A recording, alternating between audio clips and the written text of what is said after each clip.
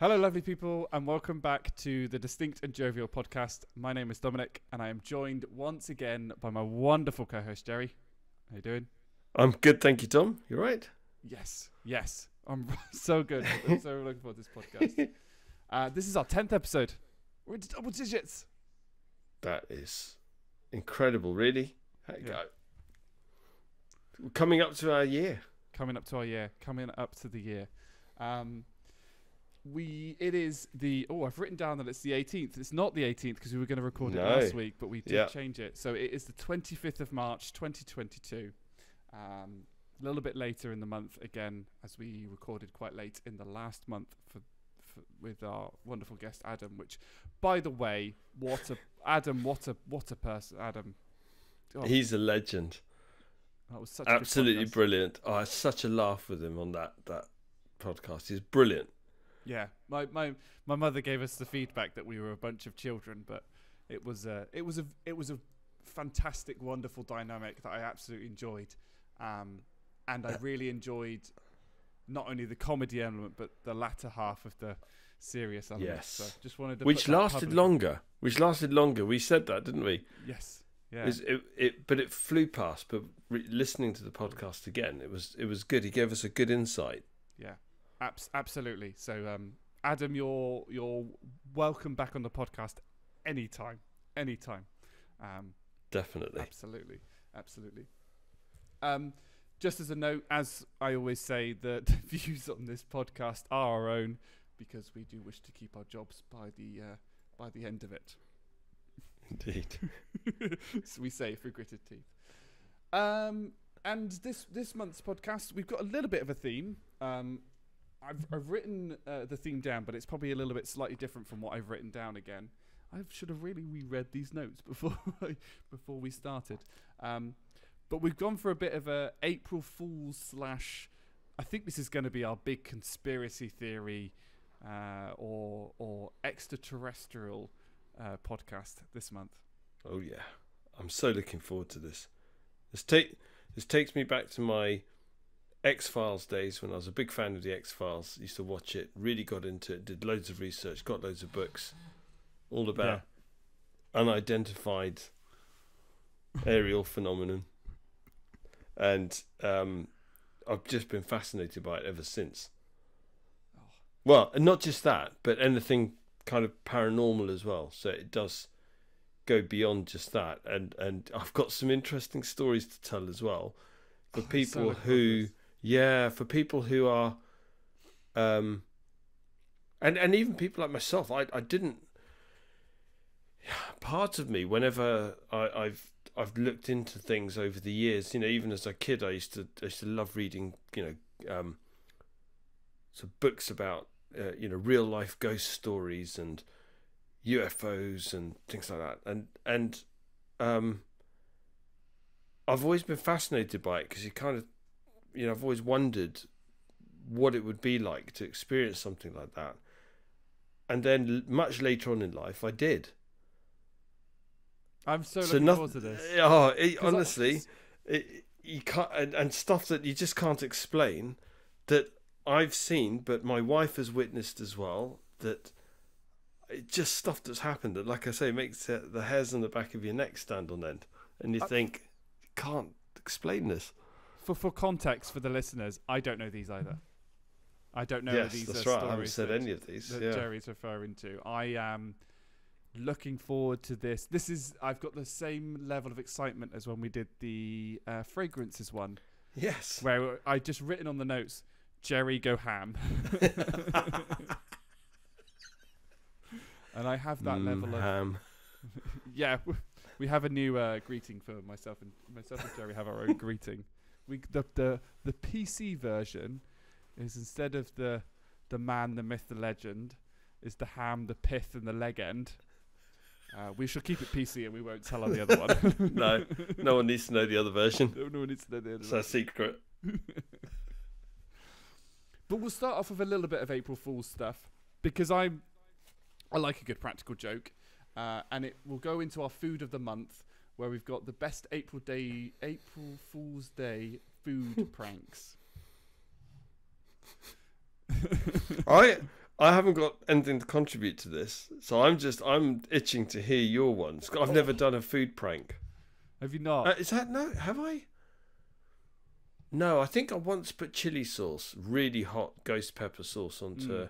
cocktail sausage and said to my brother-in-law, "Try this; it's amazing." And uh, yeah, poor guy almost had a heart attack.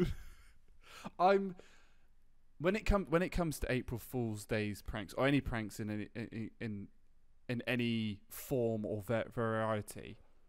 I am one that ensures that it's got no harm that can happen to people. So I, I don't I'm not too keen on the on chilies on things. I and feel things I feel that. bad now. yeah. Sorry. But, but you know, uh, like if you're going to do an April Fool's Day prank, I'm I, on, I think we've got it on our poignant questions, but I'm not too keen on like things like announcing to the world that you're pregnant and suddenly saying April Fool's. That feels a bit odd. Yeah, I know. I've got a bit. I've got a bit tangent, but um, uh, like so the the one that I've done, and I've done that I've done in university is um, so I've done I've done two. I've done uh, mustard inside of like uh, like cupcakes. so just replacing the the, the inside frosting with mustard. Oh, that's horrible. I mean, you because because some of the recommendations English mustard. I'm yeah, assuming. English. mu- Oh, dumb. What's the yellow? There's a yellow one, isn't there? I can never remember who. There's a yellow, yeah, the English mustard. Just Yeah. bright yellow, brutal. Yeah, It's like a bolt through the sinus. yeah. and I mean, like, you just replaced that. Um, and then I was looking. I, I went on the internet today and I found this. Um, for those that have watched Top Gear, will know where that's from.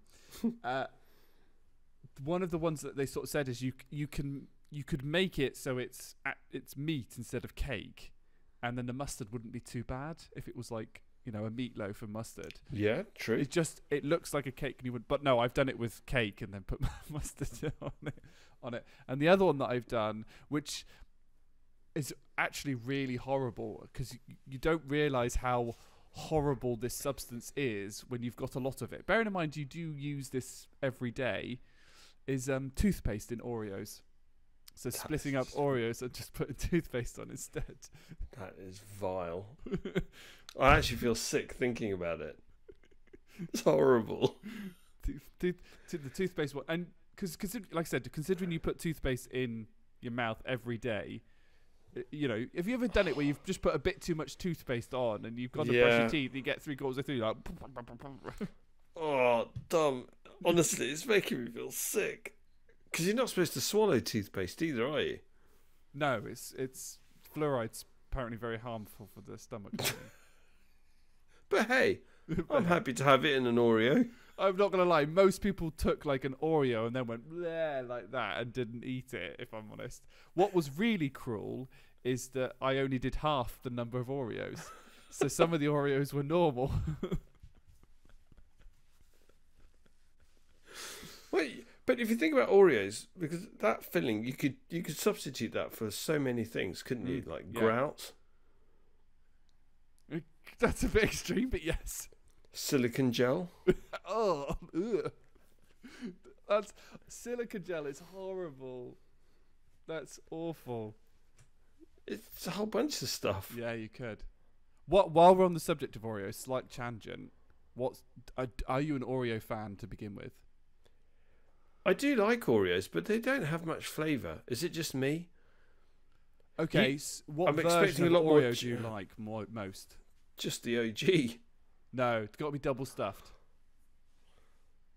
Double stuffed every single time.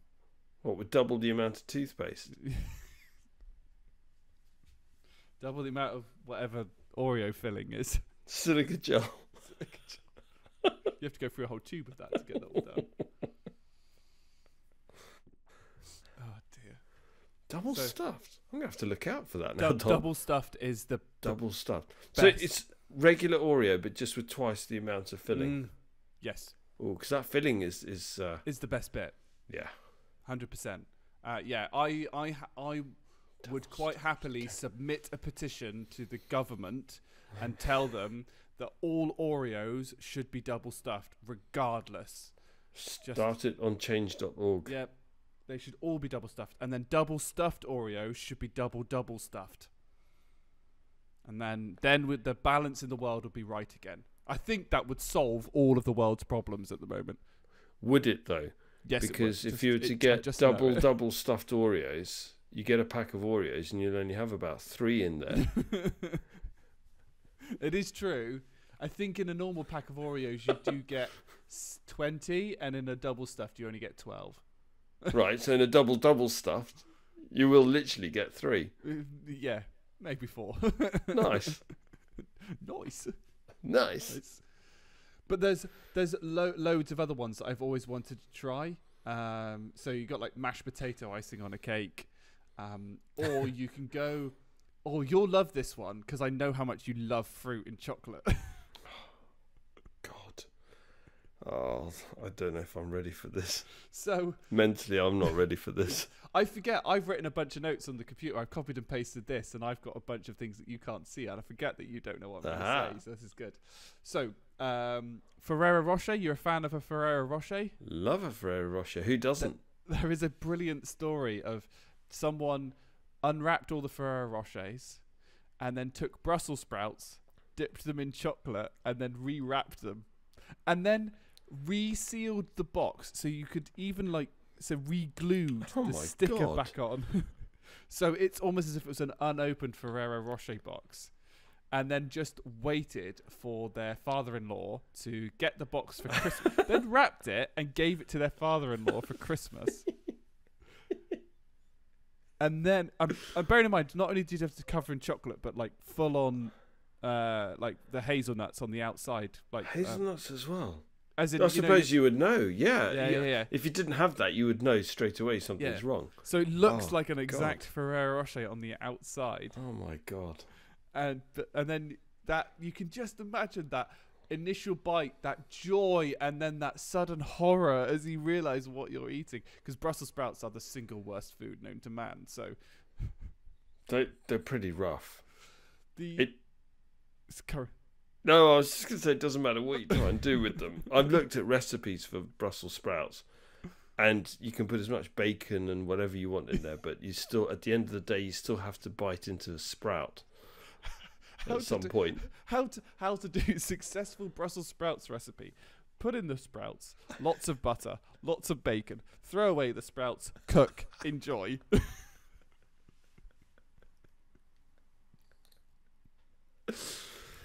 I would, I'd say, I'd go so far as say you write the the perfect recipe for sprouts.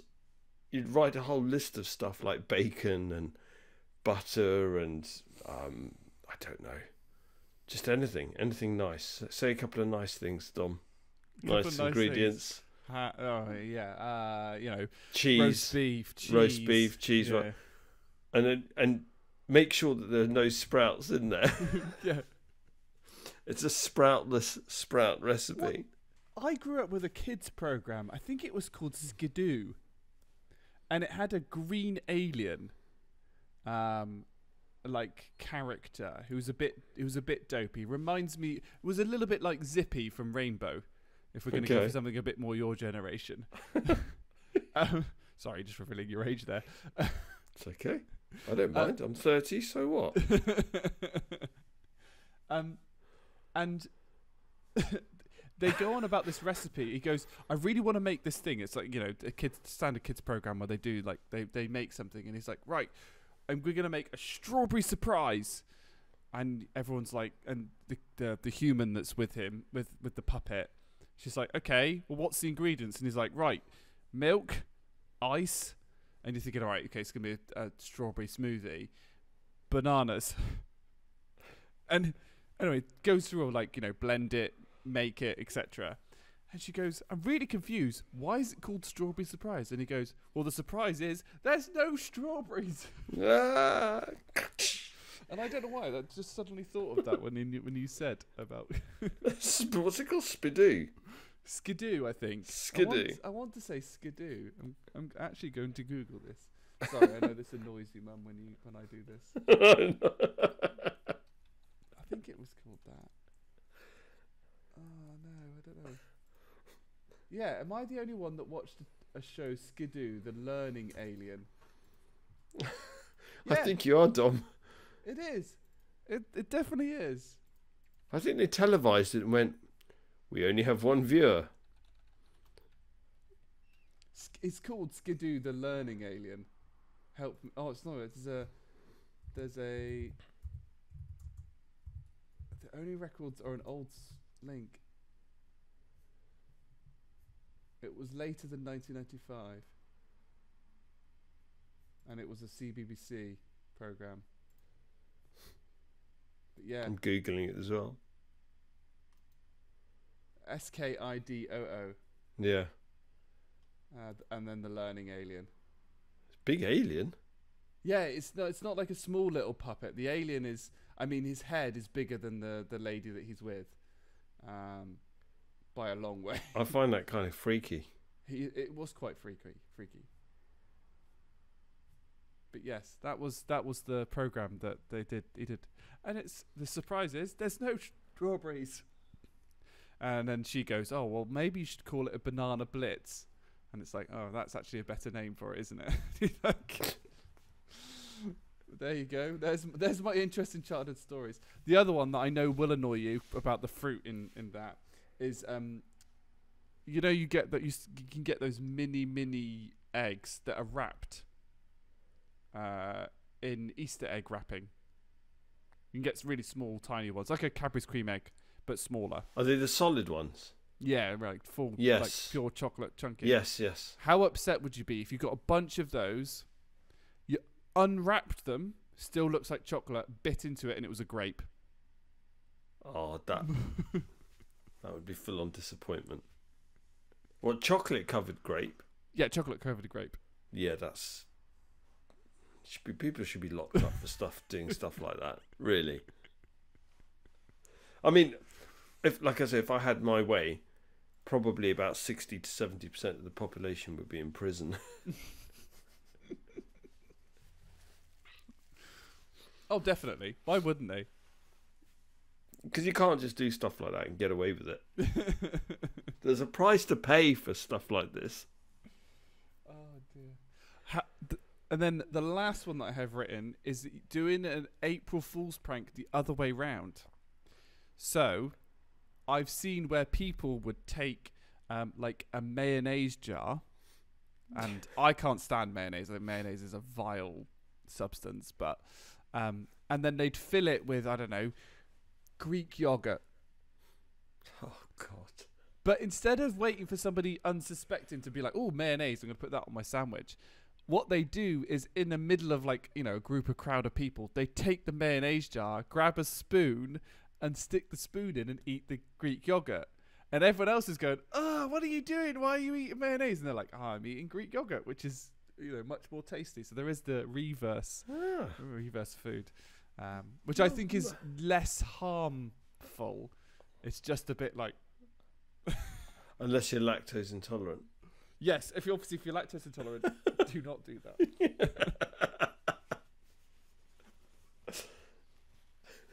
that would be a disaster. then the joke's on you. yeah. yes, the joke would be on you, and for the rest of the week. And probably all over you when you Ralph. yeah, when you Ralph. Ralph. Oh my god.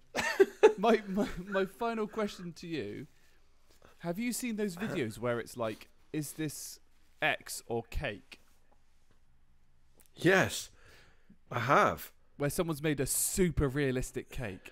Yes, there is a a baker called, I think her name or her username, and she's on Instagram, but she's also on other. She's on YouTube as well. I'm sure of it. Um, and she's called Sideserf Cakes, Mm. and I kid you not, you can't tell. What's she, she'll have, like a whole load of apples, and then she'll say which one's the cake. Mm. and it just looking at it going, I don't know. They all look exactly the same. Yeah. And then she cuts into the cake apple and you go, oh, bloody hell. Yeah. But she's done mad things like a bowl of spaghetti bolognese, and you go, Mm. "What? What the hell?" And so it cuts into it, and it's cake. Yeah, it's, it's incredible. yeah, yeah, yeah. There's loads of there's a, quite a few like that. Uh, They all they go all over the internet, and you know, like an apple to a certain extent. If you get the right lighting, I can understand. I mean, got to be really artistic to get those striations and things like that. But it's it's, it's when you like the bowl of spaghetti and things like that, and and you look at it and you think. My mind is blown, absolutely just blown. Yeah, Dom, this this this lady takes it to Rain Man kind of levels. There's no way you'd be you wouldn't be able to tell the difference. Really, it's it's it's a shocker. She's done it with Mm. Bananas. She's done it with. She did a, a pot of I can't believe it's not butter, Yes, and they just just slice into it. There's somebody's hand. yeah, It looked like there's somebody's hand was holding their jumper, and then she just cut into the hand. And you go, Yeah. oh, that makes Yeah. you jump. Oh Yeah, my god, that's not a hand. Yeah. Yeah, it's, it's so realistic that when they do the cut, you're thinking, what is that bloke doing to his hand? And then it goes in, it's like, oh, it's cake. Yeah. like, She Yeah. took a slice out of her own head. She Yeah. did. She did a self-portrait cake form, yeah. and then cut and then cut a slice out of her own head. But she's standing next to it. And you go, whoa, this is it's too Absolutely. much. that, yeah, there are there are many people in the world that are so much more artistic than I am, and I mean, I, I don't claim to be artistic in any way, shape, or form. That's not that's not who I am. But I just admire them so much, and and cake, cake, cake, especially because. So when we had Laura on and we were discussing food, baking is a science. Like you can't yeah, you can't be like, right, I've got a hundred. It says 150 grams, so I'm going to do 160 grams. Like that 10 grams makes a real big difference to how the cake turns out. yeah, Um, you know, for example, when I made muffins as part of the thing, and it goes right, leave them in the in the tray for two minutes, and then put them on the wire rack. And I left them for 10 minutes, and they were so dry that it was like eating sand from the Sahara Desert.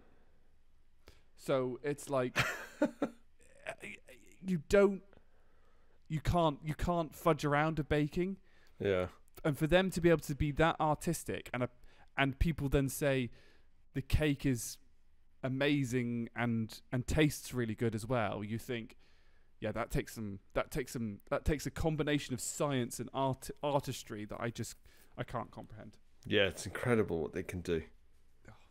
yeah but that's all the that's all the food pranks I have Yeah, and I've got nothing I can add to that. I've, I've never done a food prank apart from the ghost pepper sauce on the cocktail sausage, for which I, I apologise. and I will atone for that somehow. now you've got some ideas though for for your for your wife and daughter Mustard, I don't think I could do it. Toothpaste and an Oreo, I couldn't do that. It's too cruel. I might try the mayonnaise one Yeah, where you fill a mayonnaise jar up with something Yeah, else, and then and watch people around you ralphing yeah, as you're tucking in. what's wrong with you? I mean, you could do that with any horrible thing.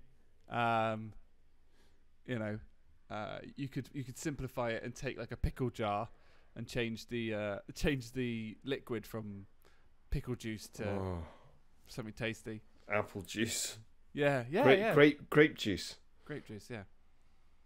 Yeah, that's doable. Oh, and they just start. You just can't do it. Like, down yeah, the- you could just go. Oh, I just fancy some this and start drinking from the pickle jar. Oh, that's horrible. I do know love people it. that do that anyway. So Do you love a bit of? Yeah, do you love? a I I like a juice? gherking. I do like a gherking, but I don't drink the pickle juice. Oh, I love a bit of pickle juice. It's very oh, good so you don't you need as well, You don't. I know it's supposed to be very Well, I couldn't guzzle it. I couldn't guzzle it. yeah, just. oh. Oh, that would make you Ralph. I've said Ralph three times now in the space of ten minutes. Oh. Right, let's go on to the fun bit. Let's go on to our poignant questions. Are you you're Go looking for forward to this one? I am. How do you want to do this? Because I know that you've got loads and loads of opinions. Do you want to still go through these questions individually, or shall I? shall Opinions like d- belly buttons, Dom. Everyone's got- Everyone's got one. Um, No, I think let's go into. No, I, I, I quite like the order. I, I read through the questions and thought, yeah, this Okay. is pretty cool. Because otherwise, it. it I, yeah. It could spiral out of control. It could spiral out of control. And actually, to be fair, it might be worth doing a follow up. Mm, yeah, We- think we might- I don't know how much- that before we started the podcast. I think we I think we did because honestly, this really could end up being a, a four hour podcast, and and I do need to get to bed at some point. I've got to take Rachel early in the morning to, to work. So, um, oh, yeah, I, I yeah, I only found that out about ten minutes before we started the podcast. Um, but but there's loads of stuff here. To, there's loads to unpack. So, yeah. I, I I mean, I, and personally, I'd love to do a follow up yeah. anyway because I think it would be really good to do some deep dive on this stuff. Yeah, yeah. So let's do let's do uh, tread the water today, Yes, and then we'll see that. So, folks, there could be some real big podcasts. Um, also, I apologise because we did talk for like forty minutes before we started this podcast about our Yeah, week. no, No, it's good. That was cathartic. Definitely worth doing. definitely required. Definitely Me required. and Jerry have very stressful jobs. Um, okay, so poignant question number one: Do you believe in UFOs? No. Next question. I'm joking. It could be a short podcast. I just wanted to throw you. Um, I was not expecting that. I was like, oh, okay, next. brilliant. So, yes, I, I do. It's it's weird, isn't it? Yeah. I do 100% believe in UFOs. Not I'm not necessarily saying that the it's difficult. You can't say categorically one way or the other where what they are and where they're from. Mm. Or I suppose where they're from. Well, you don't even know. We don't even know what they are. But it's weird that I 100% believe in UFOs because I've never actually seen one myself. So, So, do you? the UFO. So I've I've written in my notes. The UFO question in this to me is a trick question. Semantically, UFO stands for unidentified flying object. So if suddenly a rock was thrown over and I go, "What's that?" That's technically a UFO because it's an unidentified flying object until it then hits me in the face or something like that. Yeah, I'm sorry about that, Dom. I didn't mean to do it. It was supposed to just miss your head. It wasn't. It was. It was a certain somebody in the office on Thursday when I was on. Fortunately, not on the security on the, on the other meeting, but um, was on a meeting with with my manager, and then he threw something at me, and hit me in the head. Hope it wasn't anything weighty like a stapler or a No, no, it was punch. um, it was a like a stress ball photocopier. Oh, photocopier. Unfortunately, what, I was also. What are you corner. doing? Ah! Uh, no, yes, he threw a stress ball at my head Nice. through one of my meetings. And Nice. unfortunately, because I'm in the corner, he can leg it from the other side of the office, and it doesn't matter because it won't go anywhere. Anyway, sidetracked. Um, yeah. So you, uh, to me, this is it's a little bit of a trick question when you think about the semantics of UFO. Anything that's flying and is not identified is technically a UFO. But I, in terms of do I believe stuff comes from elsewhere? I don't think so. And that's simply because I don't think that it would. If something did come to the the, the Earth, it wouldn't be like, oh, I'm going to do a fly. It wouldn't be like I'm going to come down a hover and all those kinds of like stereotypical like UFO things that you'd get from like War of the Worlds and other other alien movies. It would be more like, oh, there's a rocket ship going past, or it would have it would you know land, so to speak. I don't think it would, it would have the capabilities for space flight and inter atmosphere flight. I'm getting very technical there. So, I, I, I think I agree with you. I think that's the bit for me that I struggle with, which is, you know, these are craft that have travelled hundreds of millions of light years, Mm. and you know they seek us out as a planet, and they come here and they just say, "Oh, look, there's Dom, there's Jerry." They're recording a podcast. Oh, Yeah. they're putting toothpaste in Oreos. Okay, now we're just going to go. Now we're just going to go home. accept an Oreo from me ever. yeah, again, no, are never again. I need to buy the packet. It needs to be sealed, right? And I might even get somebody else to taste, you know, just test it Smell test. before I tuck in. Yeah, like they used to do in, in with kings and stuff in medieval times, um, to make sure things weren't poisoned. I test. Just a bit of dysentery. can't argue with a bit of fluoride poisoning. Um, you, I so the, the UFO phenomenon actually is, uh, and I, I've read up about this so much. I've looked into it so much, and over the years, my views on it have changed because. So when I first started reading about UFOs, I thought, oh, it's a UFO. It's an unidentified flying object. It's a spacecraft that's being manned by an extraterrestrial being Mm. that's from another planet or from another solar system or you know it's from somewhere out there in the galaxy um, but then you, have to follow the logic think well, what are they doing Mm. and they've been visiting us for decades Mm. i mean that's the the the, the world war ii um, uh, air force pilots in, in the pacific in the second world war.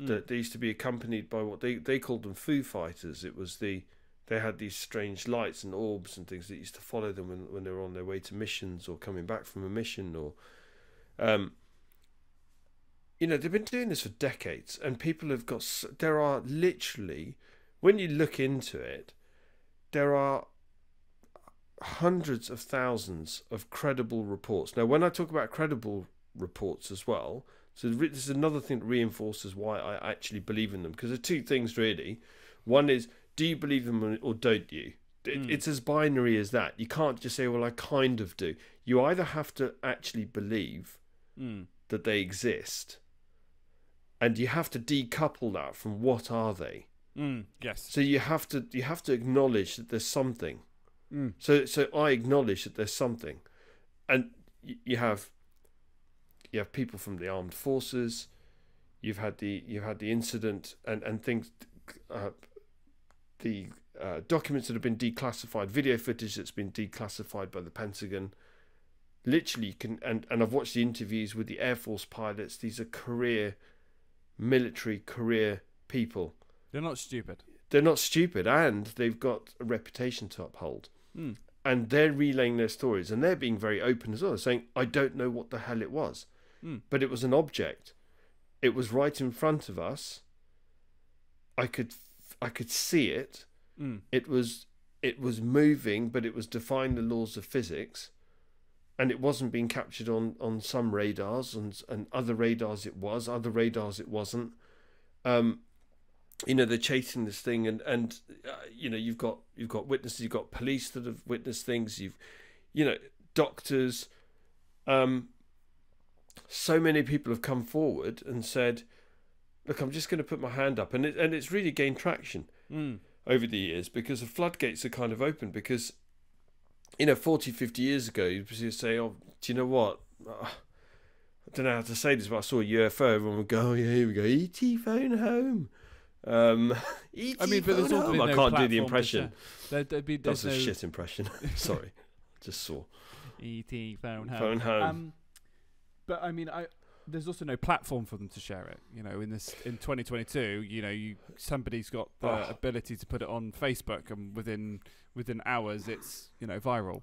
Well, Facebook, you're right. There's podcasts now. You've got a lot, m- lot more UFO researchers. You've Mm. got MUFON uh, as an organisation which uh, documents sightings and investigates um, close encounters, so sightings and close encounter events from around the world, uh, and they document this.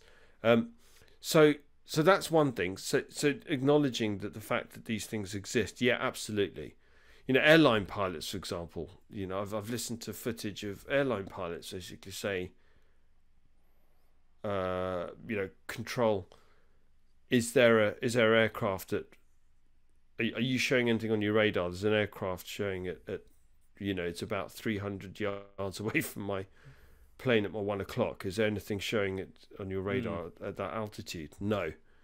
Okay, well, we can clearly see that there's something there and then then you can you hear all the footage of well do you want to report that Mm. do you want to officially report that you had the in fact you had the head of the Belgian Air Force, I'm pretty sure I've got this right, the head of the Belgian Air Force, that admitted that these things exist Mm. because they've been playing havoc with a lot of the aircraft, the NATO aircraft, you know, in in in uh, European airspace for decades. Mm. Um, you so, but but then then it sort of begs the question: Okay, what are they? Mm. Um, and if you if you take a look at and you read up about all of the um, sightings and the things that people say, it's obvious what they're doing. These craft are observing. Yeah. Do you think they're manned, or do you reckon, you know, nowadays, obviously we've we've we've kind of learned drone. We have our own kind of unmanned Yeah. aircraft. I think for me, like you know, there must be an element of something because otherwise, filmmakers wouldn't have designed, you know, alien ships to look like they do. Y- Are, ex- or, are yes. always follow some sort of real reality. Um, and while I'm I don't believe in this whole like it's there, it hovered, it stole me, and then it probed me, and I came back, and now I'm a cow type thing. That I find really far fetched. But the the the sightings from like airline pilots and stuff, and that you know the the flybys, as I like to call, I'd, I'd say that hundred percent is like there is something that takes a little bit of a more unknown, unknown, unknown feel for for, for myself.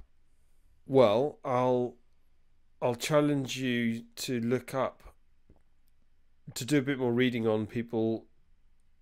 So, so a lot of people that that claim to have had a close encounter, and I always forget which one it is. There's there's a third kind. There's a fourth kind. there's one where you actually encounter aliens. There's one where you get abducted by aliens. So they fit into these different categories. So that there are lots of there are, there are lots of people who claim this because you know, look, it's a deep rooted mental thing Mm. there's something in their life there's a void that's missing there's something they, they want to believe in a higher purpose or whatever it is.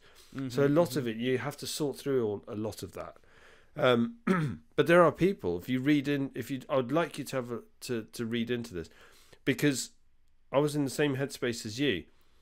But the whole thing about observing. So in answer to your question let's start let's start with that. I would say you've got manned manned in inverted Mm. commas but uh, and unmanned definitely. Um, and they are observing humans as well. So you've got people that have gone to see a psychiatrist for example um, and gone for hypnotherapy sessions because they're thinking i can't sleep at night i'm having odd dreams Mm. that i can't explain Mm. they're relaying the most incredible stories whilst under hypnosis. so they're not doing this through their conscious. This is their subconscious talking, which they can't control. Mm. Um, and then some people have actually had follow up appointments, for example, with doctors to have an x ray and found like little, what look like microchips or, or little vials Mm. or metal objects. You know, it could be one behind the ear or one in the wrist or something they didn't even know was there. And and had them removed and tested, and they can't even tell what metal it is. Right. Mm. So, th- there's something. There's something going on, and we are being observed now. my theory, from all of the stuff that I've read, is, um, and and stuff that I've I've seen and watched as well.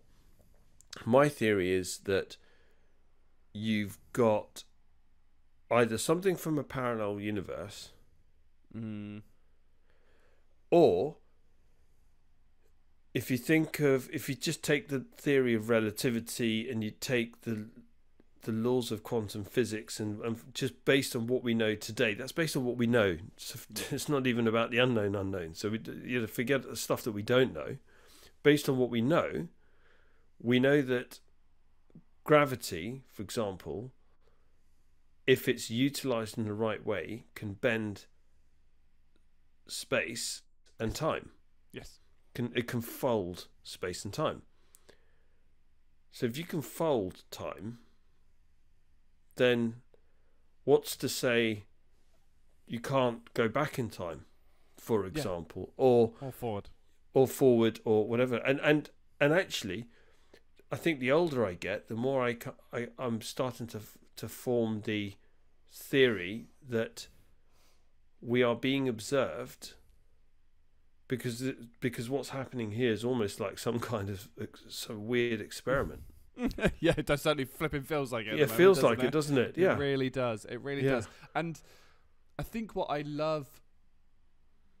I mean, so I, I- I'm I'm. Uh, we're gonna probably end up doing a whole spiritual thing at some point on our podcast, so I won't go too deep. But I am a very science-based person, which is why I the the whole space time thing, you know, which I've I've read into as well. I, I agree that you know there are bits of physics that that make sense and point to the, in this direction. We don't necessarily understand it yet. Um, and that's why I sort of said like I'm I'm I'm more dubious about perhaps the things where it's like you know the ones that come screaming like I'm back as a cow type thing that that. that that's something that they go away yeah. and they're related to, you know, it's then human related when they return about what happened. Yeah. Um, I, I have this kind of like you know it's it's I don't I don't believe in the stereotypical but I do believe in the the something. Um and the whole like I think the parallel universe bit I think later on we'll we'll grow into a really depth into like our, our, my theory on this. Um I think it's really probably the most significant bit in terms of that especially when you sort of then compare that to what we we're going to perceive as the metaverse and how that's going to then interlink with who Ooh, we are as function. So you, uh, Yeah. hopefully, you know the poignant question, so you probably know the one that I'm probably referring to. Yeah, I on, do. So I do. But yeah, I mean, yes, I think is the answer to our to the poignant question: Do we believe in UFOs? I'll, I'll leave you. I'll leave you with this on this point. And again, this is look. It's a subject I'd love to come back to. I, I honestly don't think we're going to make it through all the poignant questions. um, but you know, even if we do, I think there's a lot that we're going to need to come back to. But I'll I'll leave you with this just for the time being, and also for our listeners. Um, go onto YouTube and type in Joe Rogan and Bob Lazar. And Bob Lazar is um, he was he's got the most incredible story. I read his book actually. I read it years ago, and it's absolutely fascinating how he was recruited, and he ended up going to a research facility in the middle of the Nevada desert Mm. to basically study an unidentified object, flying object, that was was in a it was in a hangar, Mm.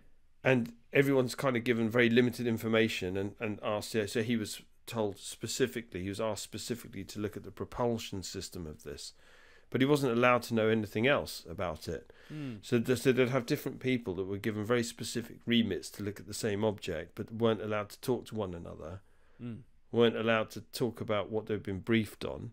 They just had to find answers for that one particular thing that they were asked to look into. And when he and by the way, he's been telling his story now for over thirty years. Yeah, I know he's been doing it for a long time. Yeah, and it hasn't changed. Yeah, at all. Yeah, yeah. No, it hasn't changed. And he, he he did an interview with Joe Rogan. I can't remember if it was last year or the year before. I'm not sure. But Yeah, look, just worth just Mm. worth watching that. It for anybody that thinks, oh come on, you know, j- just watch that as a starting point and go from there and see what you think after after that. Because as he says, you know, what what's he got to gain from this? Talking about this and being in the spotlight with regards to this has been an has been the bane of his life for thirty years. Yes. and he's had real nut jobs, you know, right to him, and he gets unwanted publicity in press, and he and he hates it, and you you can see it in his face as he's, you know, he's kind of, he's saying all of this reluctantly, but he's doing it because he thinks, look, I've got, it's, it's I've got to tell people, Mm. Absolutely, absolutely. I mean, we can go on to like poignant question number two. So you know, the the a- the whole alien subsection of this, like to do you to believe in aliens, is kind of what I've written down here. Um, and you know, based upon that quote that you've kind of said from um, from there, you know, for me, yes. I mean, absolutely. There's got to be something out there that is alien to us. You know, there's got to be something that is not who we are um, and what we refer to. Um, I, I totally believe that. You know, if there was something that was how to call it uh, alien to us and arrived on this planet, it would not be a good thing. I Yeah, do I'd- not think I do not think it would be a good thing. I'd agree with that because why would they go out of their way to come here? You, you look at the the current direction that that we've gone on, and I, I don't I don't want to jump into it too early, but may have to in a minute. But the the way that the the, the human population appears to be going along, and and absolutely, I hundred percent know that I'm a contributor to this. You know, it's it's in my nature, but I'll I'll explain into that with the air quotes in a minute. Um, that what would something else gain from us that we don't already have? And I think you know there'll be people that will be sat there, especially in higher powers, that would be going, "Don't be ridiculous! Like they got loads to gain from us." And I think that's that's actually the human race's biggest weakness is often our arrogance in our own importance, whether that's as a race, solo, or as a group. I think that's one of the things that that definitely s- not separates us, but puts it as a disadvantage. I agree. Because we've got nothing else to measure ourselves against, we kind of think that we are the pinnacle of Mm. evolution based on what we know. Yeah. And I mean, so I mean, the question for you, I suppose, is yes. Do you want to go into your aliens bit and what you think? I don't think I've got much to say on that because if you'd asked me this question 10 years ago, I would have said, yeah, definitely. And and I, I suppose maybe in in if if you take a look at the size of the universe and the number of galaxies, I mean billions of galaxies for goodness sake. So the law of averages is going to say, yeah, there's Mm. going to be some intelligent life somewhere else. But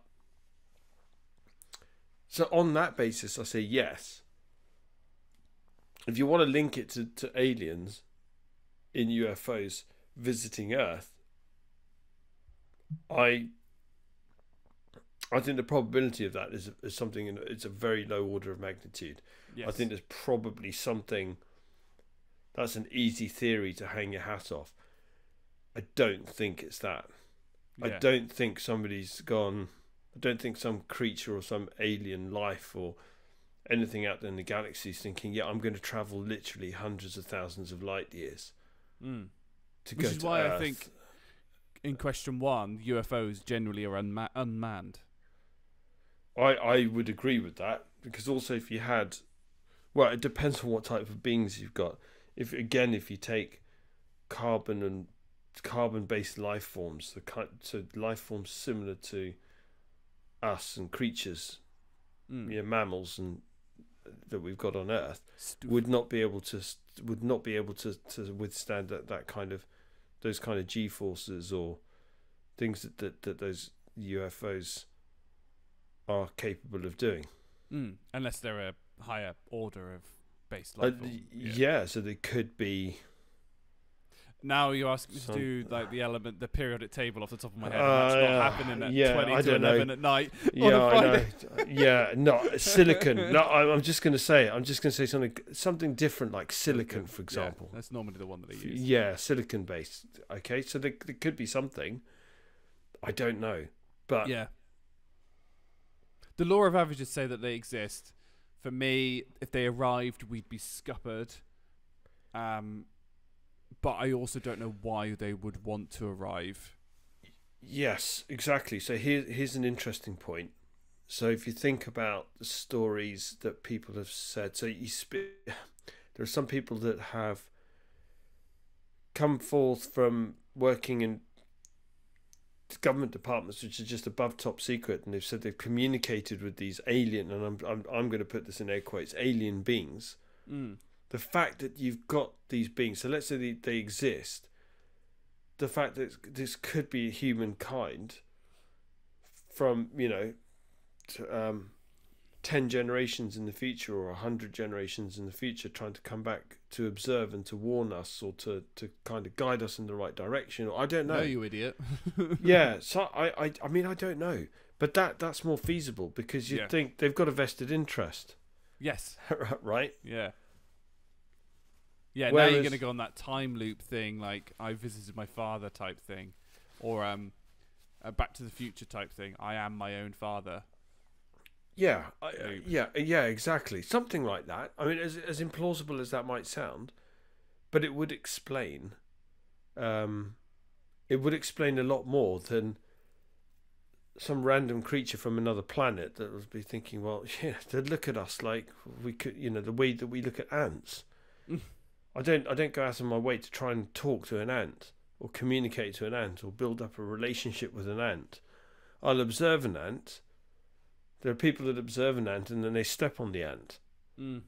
There are kids that look at ants and try and burn them with a magnifying glass because for them it's just like, well, it's just an ant.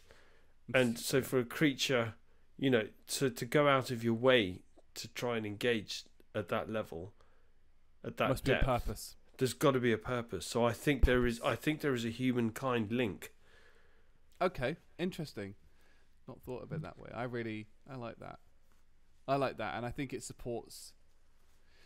Does it support? I mean, there's there's a whole different element. I think around, you know, my belief in how. Yeah, I mean that that kind of arrogance, that uh, thought process around things like AI as well as a whole kind of thing that I just the the thing I always come back to the brain is a wonder the, the, the human brain is a wonderful thing until you realize it named itself yeah, that's true. Right. and there are stuff that I don't think that we will ever be able to comprehend it's just not Agree. feasibly possible for us to Yeah, agree. comprehend. You know um uh, a dog cannot have a thought about its own thoughts. We are the only carbon based life form that can do that. We can have a thought about a thought. We can go oh that was an interesting thought or you know and and it means that you know we will have those thoughts and we all have them where you're stood i don't know at the edge of a on the on on the side of a bridge and your mind just goes jump off. And you think where the heck did that come from yeah, but you you all have them. Or you're holding a baby and you're like throw out the window. You know your body you, you know it's those kinds of irrational thoughts that that that that come in from a from that perspective. And the the importance of an alien now bearing in mind that the definition for alien is foreign means that you'll end up with a you got to end up with this like kind of you know understanding like what is foreign. So when you say there's a humankind link and this and it's a you know this time travel paradox it still would be an alien to me. And that's why i think it's really important to kind of go okay I'll, we might not ever understand that but if it's something in the future that we could understand and we're not at the evolution section evolution part to understand it I, i'm going off on a bit of a tangent but it's kind of like there's still something I think that's so alien that we cannot comprehend. yes, yeah. So it could it could be humankind evolved to such an extent that we we barely recognise it anymore. Mm. We barely recognise our species anymore. So it's, it's as good as a, being an alien Yes. because we don't recognise. yeah. Yeah. No, I, That- that, that, that's that- it. Yeah. That's it. And then question three. So I've deliberately put this question in. I think more just to kind of expose myself and one of my fears. But the question is: Are fish aliens or aliens fish? Chicken and an egg scenario. So this is on the extreme end. If we take out the humanoid bit that we've just discussed, this is perhaps more around the like the your your stereotypical TV alien. Do you believe that fish are aliens? No. Okay, interesting. yeah, no, I don't. Deep down, like not even in the, like the Marina Trench where we've no, we've never been. Yeah, no, because yeah, I, I, I know where you're going with this, Mm. but yeah, I, I don't believe. No, okay. Because I think that the in some aspects the ocean is scarier than space. It's definitely less explored. Mm. We kn- we know less about it Yeah, than we do space. Le- less than we should definitely, considering Definitely it covers we seventy percent of our planet, and we've Yeah, and you know we've not been to the depths or mapped all the depths out and figured out what you know what things are. And and uh, it's it, it you know they're on a level playing field in terms of they're both really interesting. But I would say that like the reason why the ocean seems scarier to me because it feels closer. If we discovered something in the ocean that was like oh crap like we would like to me that's like a oh man but if we discovered something that was like 14 light year galaxies away i'd be like well okay i feel like a little bit uh, you know kind of you know we could chill about that one a little bit but it's all that whole like almost like godzilla type thing like suddenly the aliens appear out from the ocean type thing and you're like not comfortable with that one not comfortable at all yeah. Suddenly, you're not going to be doing your morning swims on Bournemouth Beach. No. Yeah, I, I think um, th- this is, it's an interesting point. There is a whole area of UFO theory and phenomenon based on sightings of craft in the sea that have come out of the sea, craft that are below sea level in the Arctic, mm. things yeah coming out of the holes in the Arctic ice. So that's a whole different. That's Kettle a whole fish. different. Yeah, pardon the pun, but it's true. So when you Yeah. start talking about the origins as well of of these craft and this this phenomenon, where actually it could be on our doorstep for all Mm. we know. Yes, absolutely. Yeah, yeah, that, that, and that that's that's what frightens me more about like this ocean aspect. And I mean, I mean, have you seen some of the fish that are the like in the depths of the ocean? They're They're pretty weird. weird. And I'm a bit like, yeah, mm, that that you know, a humanoid alien coming from space to come and visit. I'd be like, well, okay, are you humanoid? Maybe sort of thing, but you know, freaking one of the s- angle angular fish from like deep down suddenly realizing, oh, I'm going to decide to walk. I I would, I'm gonna, you know, no, thank you. That's that's not something I want to see. Thanks. It it is it's incredible that you've got these things that can survive as well. Mm. in waters so cold at such high pressure, Yeah, the pressure's the bit that gets me. Yeah, and you think how how do you live? yeah, It's it's bizarre. Yeah. And and more so that I because I saw a video this week of uh of a scu uh, what is it, diver at he was 271 meters below sea devil sea level sea devil blimey it's like Whoa, Is that a Freudian slip? that is a Freudian slip. This is your this is your subconscious fear starting yeah, I to know. Um, bubble up. I, I, I'm not normally. I'm not. I'm not so afraid of the ocean that I won't go in it. But I'm. It's. I prefer to be swimming in a swimming pool than the, than the sea. And a nice infinity pool. Mm, yeah, maybe. Okay. um, I love the beach. Uh, but my yeah, like as I said, like uh, oh, and the video that I watched, he was at uh, you know 271 meters below sea level and got attacked by a swordfish, and you just see this this like thing, and it's just the swordfish is like, I'm like, yeah, no, yeah, that absolutely not. no. Well, you wouldn't catch me in the sea anyway. Um, I've got a fear of deep water for a start. So Lassophobia. is that what it's called? I think it's called that. I'm pretty sure. I should know it. Bear in mind, I've got a fear of it. Fear of deep water. oh, th- th- thalassophobia. T H. Thalas- thalassophobia. okay. Thalassophobia. is a type of specific pho- phobia that involves a persistent, intense fear of deep bodies of water, such as the ocean or sea. That'll be the one. Yeah. And then megalohydrothalassophobia uh, could probably, ironically, be called the fear of the uh, fear of long words. Um, is fear of large underwater creatures or objects. Mega Oh. megalohydrothalassophobia. Um, and that's probably a bit more my one that I would have. Oh, I've got both. it's, it's one of those things. If a bit of seaweed like scrapes my leg while I'm in the sea, Oh. that's it. I'm out. That's what I'm, that's what I'm saying. So what's the point of going in the sea? Because something like that is bound to happen, and Yeah. you're going to think the worst.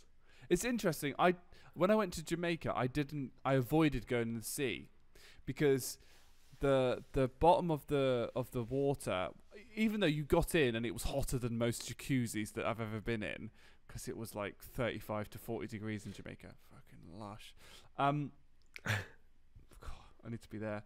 Um, the issue was is that all of it was like covered in like sort of maybe sort of I don't know two inches depth of just like reeds, which L felt really squirmy, but hidden in them, and called I think they're called urchins. But the only way I can describe them is they're little like black balls that had like six inch spikes all around them. They're literally just a spike ball. And um, one of the other one of the other people that I went with stood on one. That's it. Got to pull them all out like step by step. And I'm like, no, I haven't got time for that. Too much flim flam. Yeah, too much. Fl- exactly, too much flim flam. Just not. Nautical flim flam. And then foot all swelled up because it's full of like. You know, Oh, yeah, 'cause it's got toxins and stuff, in Yeah, it, isn't toxins, it? 'cause it's, it's- protection mechanism, isn't it? venomous, poisonous. Yeah, both. There is a word. There is a rule. Is I think if it's venomous, it means that if it bites you, you die. It's poisonous. If you bite it, you die. Oh, okay. it's like Yeah. and then and then the phrase goes um it's like uh, if it's venomous and it bites you you die. Um it's poisonous you bite it it dies. And then the, the person goes what happens if it bites you and it dies? Well that means you, you're poisonous. What happens if you bite each other and neither of you dies? It's kinky?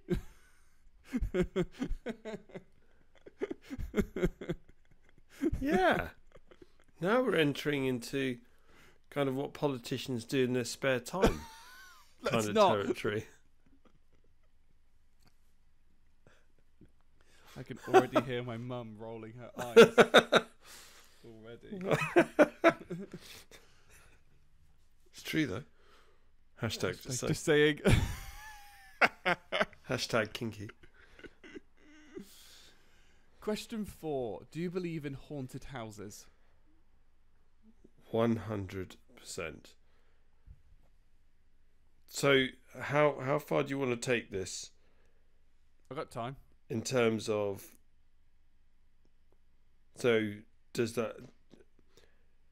We haven't got the specific question, which is, do you believe in ghosts Oh, so I kind of hinted. or at, power? uh, so yeah, so if you're wrapping all of that up, yeah, kind of, and we can go into more depth in another podcast because I'm. I suppose I specifically, I specifically chose haunted houses in terms of like pranks and things like that, um, but for more for the theme. But I think that because I think there's a different level of of ghosts as well at some point. So, um, but this was the question I thought that you would probably go quite in depth into.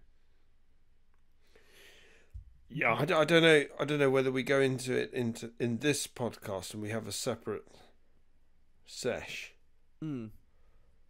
On what I can go into because it's not linked to a house that's haunted,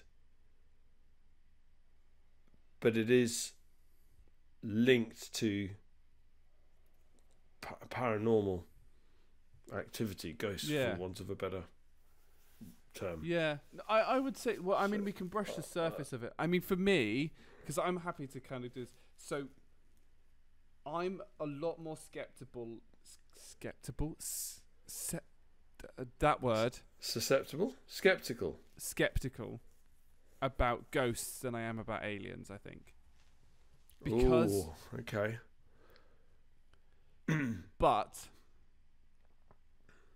um, ish, ish, because of what I believe on question ten. Okay, so so this goes back to the do you believe in UFOs and do you believe in aliens? The two are, separate things. Yeah, So so I get it, and I get why you're linking that to question ten, yeah. So uh, right? So okay, so yeah, totally get that. So I have had countless experiences with regards to ghosts in my life.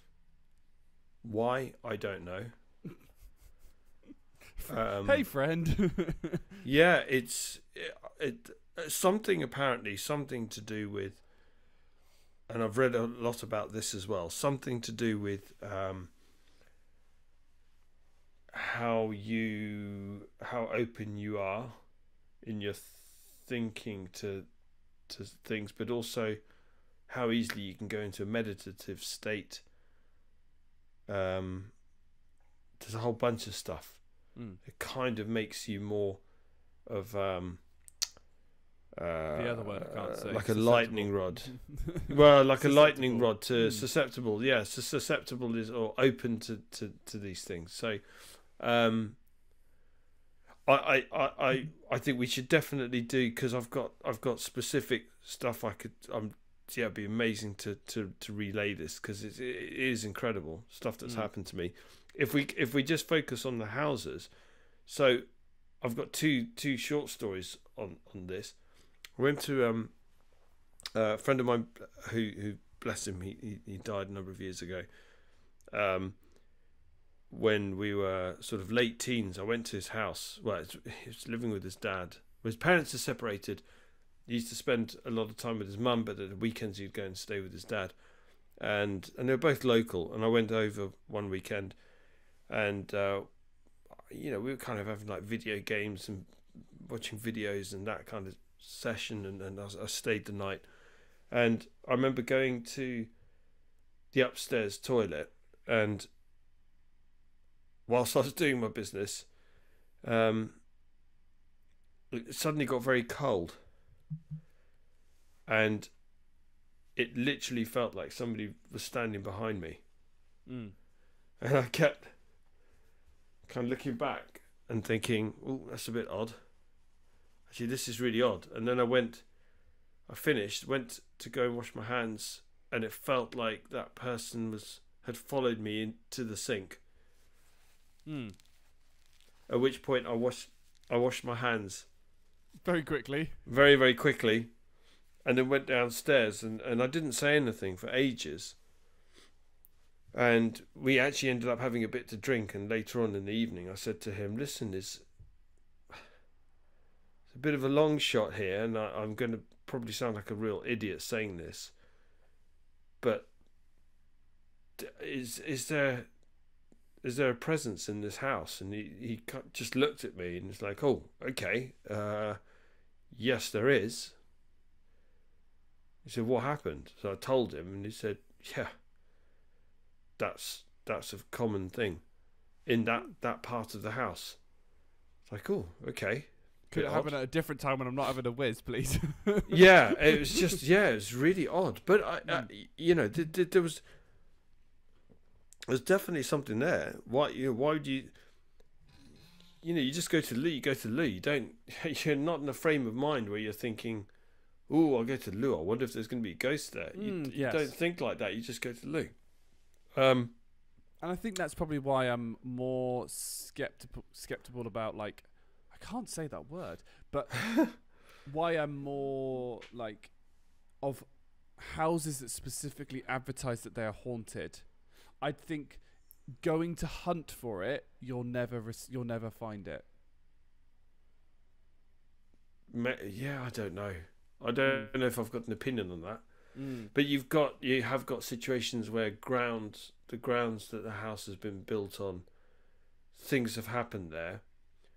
so so where where we used to live, where my wife and daughter and I used to live, um, our house was in a it was like in a little little estate, behind which there was quite a large woodland area Mm-hmm. that I found out um, a few years after we moved in. It's called Cutthroat Wood. It's pleasant. Yeah, nice. I was thinking, cut. It's a bit of an odd. People would just refer to it very casually. Oh, yeah, that's you know that's that area. That's Cutthroat Wood. Cutthroat Wood. So anyway, I looked into it, um, and it was on the A40, and it was a section of the main road from Oxford to, into London, Yes. and you used to get a lot of highwaymen that used to hide in those, in that that little cluster of trees in that Mhm. little wooded area, and they used to come out and they used to hijack, they used to kill people and take their belongings and take whatever you know. They were talking like 16th century, Yes. Yeah. You know, 15th, 16th, 17th century. That's what they used to do. And they used to they used to drag the, the, the victims into the into the woods. They used to kill them. They used to cut their throats and leave them there, and hidden. No one would find them. And they used to take their horse and cart and their belongings. And and it it was such a uh, um because of the way it was situated and because it was up a hill and and it it was obviously a good place to do it and and it, it, the name stuck for goodness Mm. sake. People give a name for a reason it's cutthroat wood um and I, and we had situations for example in in in my house. Um i remember my my wife my daughter was very young at the time and she, she took my daughter up to to you know get her to sleep. She then came back down we watched a bit of tv then she said right i'm off to sleep. And i just it was just one of those evenings where i thought i don't want to go up yet i'm not i still Mm. need a bit more of that unwinding time Mm. um, and the playroom was just off the living room where the TV was. So I'm sitting in the living room watching TV, and the playroom's like a little separate area. It's directly in front of me, but it's through these these these double doors. And uh, um, Rachel had this. It's like a dance mat, so you stand on it, and it, and and, and depending on where you step on it, it'll play a different note Mm. and she wore this damn thing out. So the batteries ran out ages and ages ago. I never replaced them. Um, and I'm talking about you know the batteries ran out for so at that point and that evening, the batteries I would say were probably they'd run out maybe three years prior. Three years, yeah, seriously, three or four years. I'd never change it because it used to drive me nuts. The thing Mm. would drive me nuts, and she did. She didn't really use it much anyway, so it was kind of in the corner of the room. And uh, yeah, lo and behold, this thing just kicked off. um,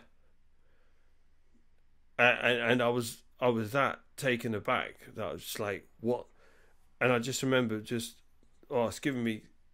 I, Yeah, actually getting goosebumps. Yeah, just think, just recalling it. But I remember very gingerly walking up to the double doors and just opening them up and just stepping back and looking into the dark play area and seeing the lights on this thing and the notes being put. Oh, this is God, Dom. Whoa, Mm. my uh, yeah, I'm getting goosebumps, and, and and I could I could see the notes. I could see this thing lit up, and I knew there it. was something there. There's nothing on there. Mm. I knew there was something there because I could feel the presence of something, which is something. Another thing is very very difficult to explain Yes. but I could feel the presence of something there. And stu- I, I don't know, you don't know what to do in situ. What do you do in a situation like that? And so I kind of just said something stupid like uh, "hello," and and it stopped. And then I sort of said something else stupid, like "Is anybody there?" Because I didn't know what else to say. What do Yeah. you say in a situation It's like that, right? isn't It it? is stupid. Because you always, But- I, I, it was, it's funny because my instant thought when you said "Oh, I went and opened the, the doors was, oh, you'd be the first to die in a horror movie. I would be, but but you know what? It's but you can understand what You when, when, don't- when it happens to you, you can understand why that's actually the default reaction of somebody.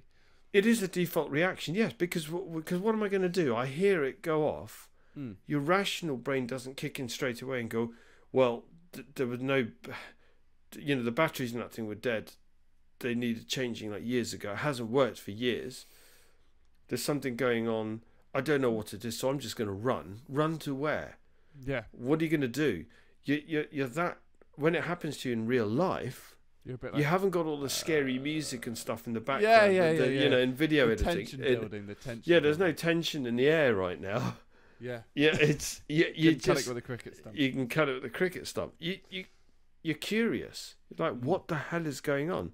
So that's what I did. So I gingerly sort of made my way in to find out what was because I needed the answer to figure out what was going on. Mm. For me, was more compelling. It sort of overtook the fear. Your your subconscious is going in and tr- tr- trying. So, I mean, I can you can attune that to um, panic attacks. So, uh, bear with me. It, it, it makes sense. Uh, and it, it's to explain your rational bra- why you're why you want to go and figure out what it is. Um, so if you're driving in the car and somebody cuts you off, you go, "Oh my god!" The heart rate goes up and your palms are all sweaty and everything like that. And then you know, and then you go, and then your mind goes, "Oh, somebody cut me off," so stops releasing cortisol and stops releasing the stress adrenaline um, hormone, and you calm back down. The way that panic attacks work, bear with me with this, this link will work, is that happens, but then you've got nothing. So your body goes, well, where's the thing that's wrong? Where's the thing that's wrong? Where's the thing that's wrong? And that's how you get panic attacks because you get worse and worse because your body can't figure out what was the thing that got wrong. You know, it's like last time this happened, a guy cut us off on the on on the road, so I know what it was, so I can calm back down. But now it's just going full flight of fight response. And I have a you know, the, the the way that the brain works is it does that regardless. So what what hap- you know, for me, it's it's your brain has gone, ooh, that's weird. I need to figure that out because I can't rationalize that. So it makes you do dumb things because it goes, can you go figure that out for me, please? That's exactly it. Yeah, I wanted an explanation. And that desire to have an explanation for what happened did was was stronger than my my fear at the time, Mm. Mm. which was what the hell is going on. So it was a very calm, controlled fear, Mm-hmm. sort of overtaken by curiosity. Mm. Weird. Interesting. Yeah. Interesting. I, I think we could do we could do a whole podcast on. Oh, honestly, you, you wait. That's nothing. Oh really? I yeah, honestly, I I kid you not. That's nothing. What I've just told you, those are two mild things that have happened to me. If if you, I, I'd put those into the category of if they were a Nando's sauce, that they would be mild. I've got medium and I've got hot. oh, interesting. I don't know whether I'm jealous or not. Like, because I'm, you know, I'm very open and honest. I'm a massive coward. Absolutely, 100%. It's funny, you know, considering I've done Taekwondo for, uh, be 17 years this year. Like, I always had the stupid people that be like, oh, go on, you could beat that person, you could beat that person. Probably not. Like, Street Fight is something completely different you know, and, and honestly, all my training basically says you want to avoid the fight. Um, yeah, exactly.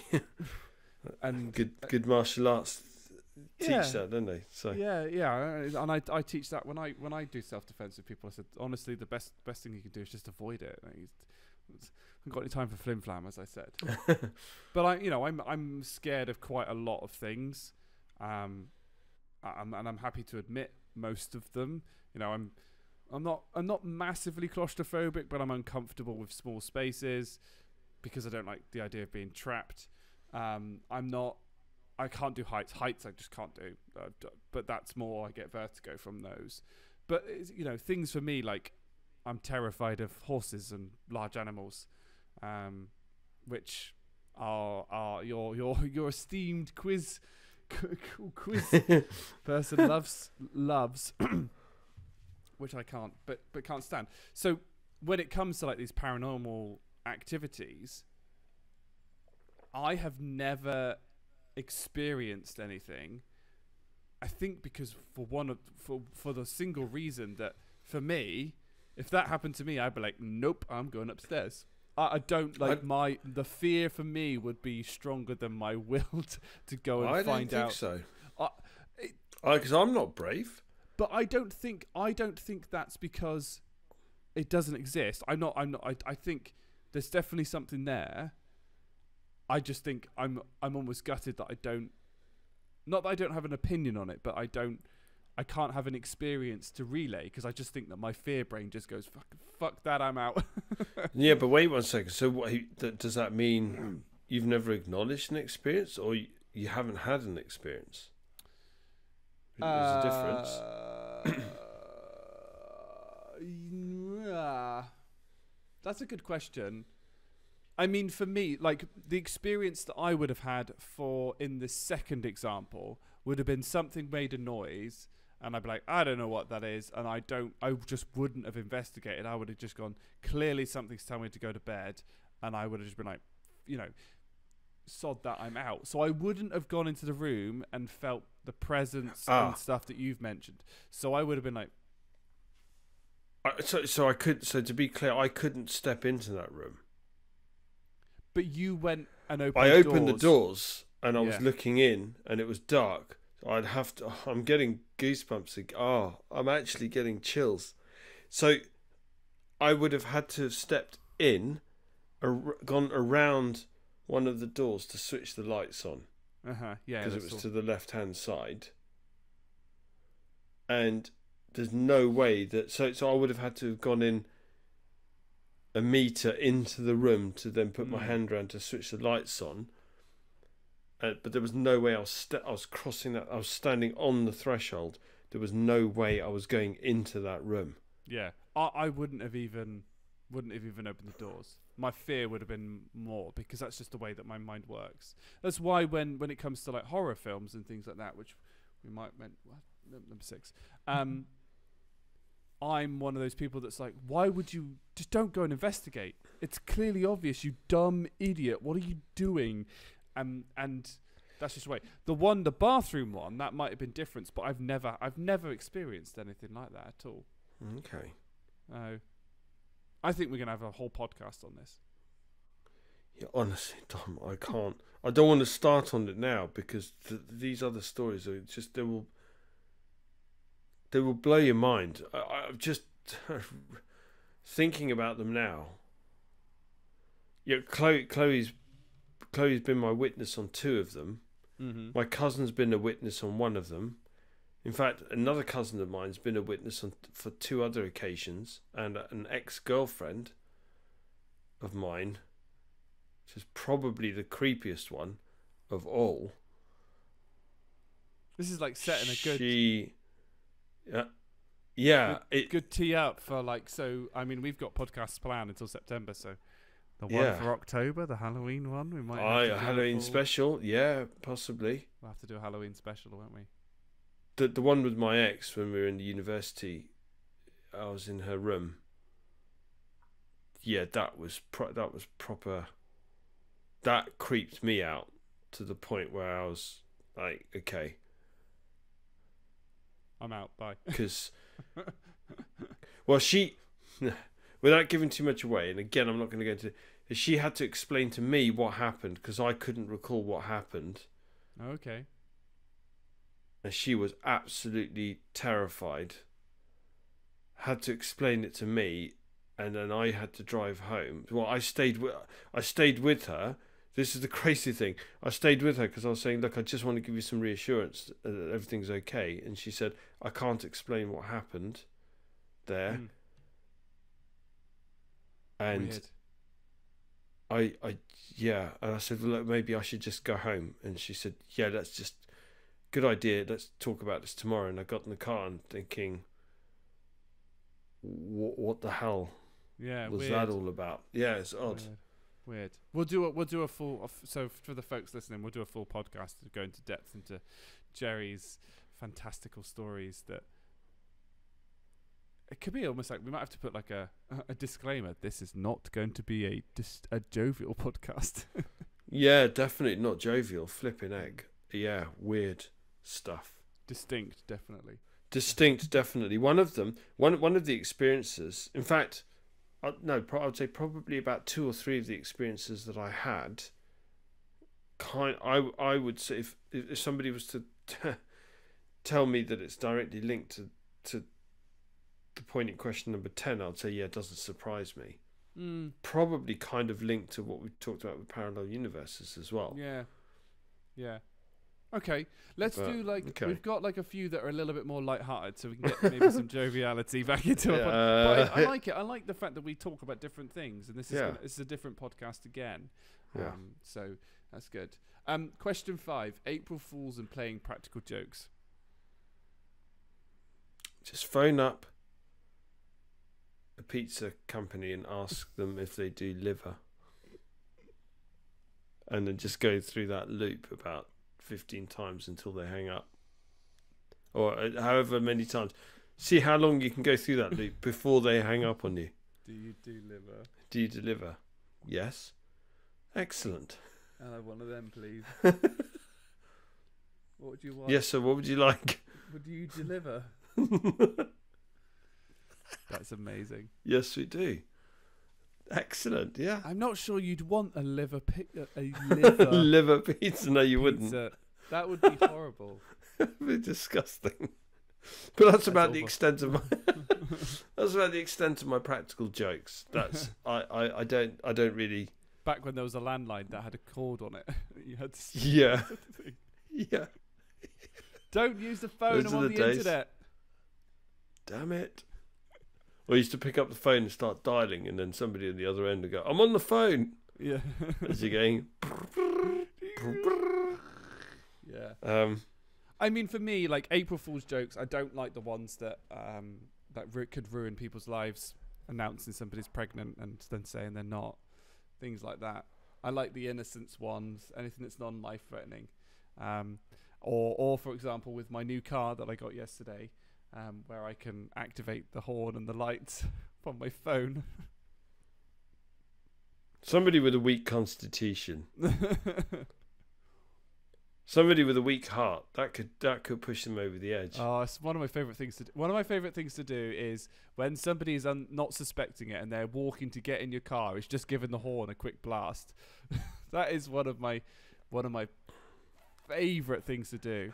or, um, and I used to get my best mate with this all the time.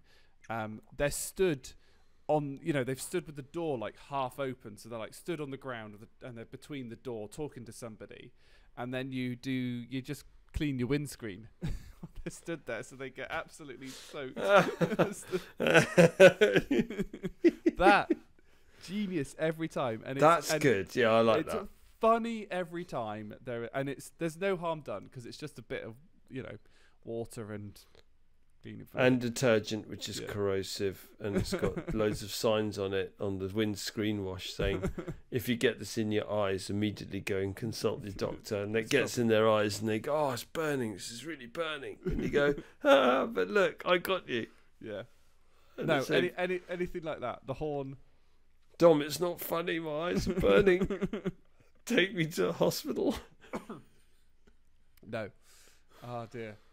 Those are the types of jokes that I like. I absolutely love them. And Dom, I'm um, losing vision of my right eye. I mean, Sorry. I mean, even the joke that, that um, or Laura, who was on the podcast, did with one of my other friends over where they, you know, I'm come walking around. The, well, I'm in the room, and then they get confetti cannons out and go. That's great. Love that. Not impressed that I'm still finding confetti in things because they then shoved confetti in everything, all my pockets, like my coat. Oh no. Uh, yeah, that that means that I'm still finding confetti and stuff like three months later. Uh, I did um, mo- one of my favourite ones for somebody's birthday. Um, I just poured a load of glitter into the card and then Oh damn and it. she went like like that and it went everywhere. Oh, do you know that glitter? It gets in your eyes. You shower years later. You shower and you go, "Oh, a bit of glitter just came out from somewhere. I don't know where that was." You just get glitter everywhere. It just it's in your life forever. Yeah, yeah. I've done a few glitter, and I tried to get Laura for her for her thirtieth, but um, Uh, and I used a professional company to send the thing, um, but alas, it uh, it apparently she heard it, so she opened it over a bowl, so it didn't matter. And I was like, freaking damn it! It's like you've got one purpose in life. but yes, glit, glitter, glitter in a, a card. That's always good. Have you Um, ever got glitter in your eye? It's no Yeah. joke. Yeah, It's like it's as bad as getting an eyelash in there, yeah, but it's more difficult to remove than an eyelash. Absolutely. Um, have you seen um? I mean, speaking of space, almost earlier on, Mark, a guy called Mark Rober. He's an ex NASA engineer, and he's built uh like uh a box that when you take it off, it like throws glitter everywhere. It's got phones recording, um, and sounds like police sirens because it's um it's from America. Obviously, they have a lot of porch pirates, where people Ah, okay. Amazon will do that. People come and just take the items from that, whatever it is. And the idea being it's GPS tracked, and then when they take it off, it, it throws glitter everywhere and sprays fart spray.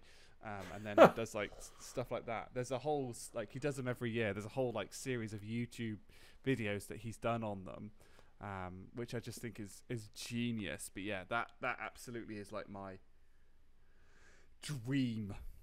My Mark Rober, dream. did you say? Mark Rober. Mark R-O-B-E-R. Rober. I'll have to look him up. Okay. Yeah, absolutely. Uh, it's h- hilarious. Um, and he also did a squirrel like assault course to see how intelligent squirrels are, basically. Uh, and and spoiler alert, they aren't that intelligent, but they did eventually manage to complete the assault course. Wow. So, Okay. Yeah. Crafty little buggers. Yeah, I know, I know. But yeah, I love love it. I I, I, I like things like that. I think are the best, the best in terms of practical jokes. uh, question six: Scary movies. Can't stand them, really. Oh, thank God! I'm glad it's not just me. No, I'm I'm a chicken, complete and utter chicken with scary movies. So don't talk to me about horror movies. There's no point asking me which horror movies I I just can't watch them. Mm. Oh, it really. I, I I've never liked them, even as a child. No. Um, I never liked the thrill of it. It I, it disturbs me on such a deep level. it's it's so bearing in mind I'm somebody that loves you know I like the pranks you know the you know making people jump with like pl- blaring the horn I like the surprise jump scare I don't even mind being jump scared if I don't know about it but if I know about it that tension that's the bit I can't stand that physically makes me feel sick Yeah, That- it's that tension. isn't it? so like a, a thriller, especially, or um, you know, or even if it's a jump scare movie, if I know that a jump scare is going to come along, it's the waiting. Once the jump scare's happened, I'm like, oh, okay, that was good. But it's that waiting that I cannot stand. Yeah. And video games are worse because you're in control, so you're trying to avoid it. Um, and yeah, it, I just can't stand that. And also because horror movies also try and use gore, and I'm very very squeamish, so I, I don't I don't do gore. It's the gore. It's the yeah. I agree. It's the gore. It's the music. As well, so the whole atmospherics Mm. around building that tension. Oh yeah, I can't. St- oh, Yeah, don't like horror movies at all. Do not enjoy it at No. all. And and And what makes it worse is when you watch something like The Exorcist, and then you realise it's actually based on a book, and that book was based on a true story. yes, And and then you and then you then kind you of think now I, then you get proper get the heebie-jeebies. You then kind of think, shit, I wish I hadn't seen that because I now can't unsee it. yeah. So so I watched The Exorcist donkeys years ago, and I can't get that out of my head. Same as American Werewolf in London, and there's certain scenes in that that I just think, no, I can't. I, I just I've tried desperately to unsee it, and I can't. Mm. So, yeah, no. Yeah. No, I can't can't stand horror movies No. at all. Ooh. Yeah, absolutely not. It's alright, my chair has just got caught on my green screen. I can't move, so I'm stuck. so you folks can't Your green screen's uh, possessed. No, it's not. I- so- No, I saw it move. For the listeners that can't see, I I'm sat at my desk and I've got my green screen about two laminate flooring pads away, so I've not got a lot of room. I can't normally move anyway, but sometimes it just depends upon where the wheels are on the, you know, on an office chair. You know, if the if the wheels are pointing like that, then I are pointing so that you know Oh, directly see at the green saying. screen. It's slightly Yeah. longer than if they're, you know, sort of you know 45 degrees on or whatever. Um, and it's obviously just got stuck on the foot, and I was just trying to shift one of my feet, and I was like, and my chair wouldn't move, and I was stuck. So uh, completely ruined that atmosphere, didn't I? No, listen. Whilst we were talking, I've just seen this green screen somehow make its way closer to you. when we first started speaking, it was about four meters away. no, it's behind you, Dom. yeah, Run. run. and you may be wondering, for listeners, why I have the green screen up. It's purely for a little bit of noise dampening because my room is uh, is quite large. So, alas. Have you ever projected a green screen onto your green screen? Yes. I haven't got the filter on. I have not got the filter on. Uh, you know, I can, I can, I can, you know, just have to do that. Doink. There you go. It's not green That's anymore. Pretty cool. It's No, changed to that's black. really cool. Yeah, and it's the same. Uh, it's the same as what I have for my. Um, I haven't got my lights very bright. I can get that to be a bit more. There you go. That's that's when you get like a proper kind of green screen effect. Yeah, look at that. It's great. Uh, but now I can't see you because I've got my lights up to like 50%. so, uh, I'm just going to turn them down. Um, yeah, very distracted by green screen, so apologies. Sorry. folks. Went off on a tangent. Went off for a tangent. There it's not go. easy Back- being green.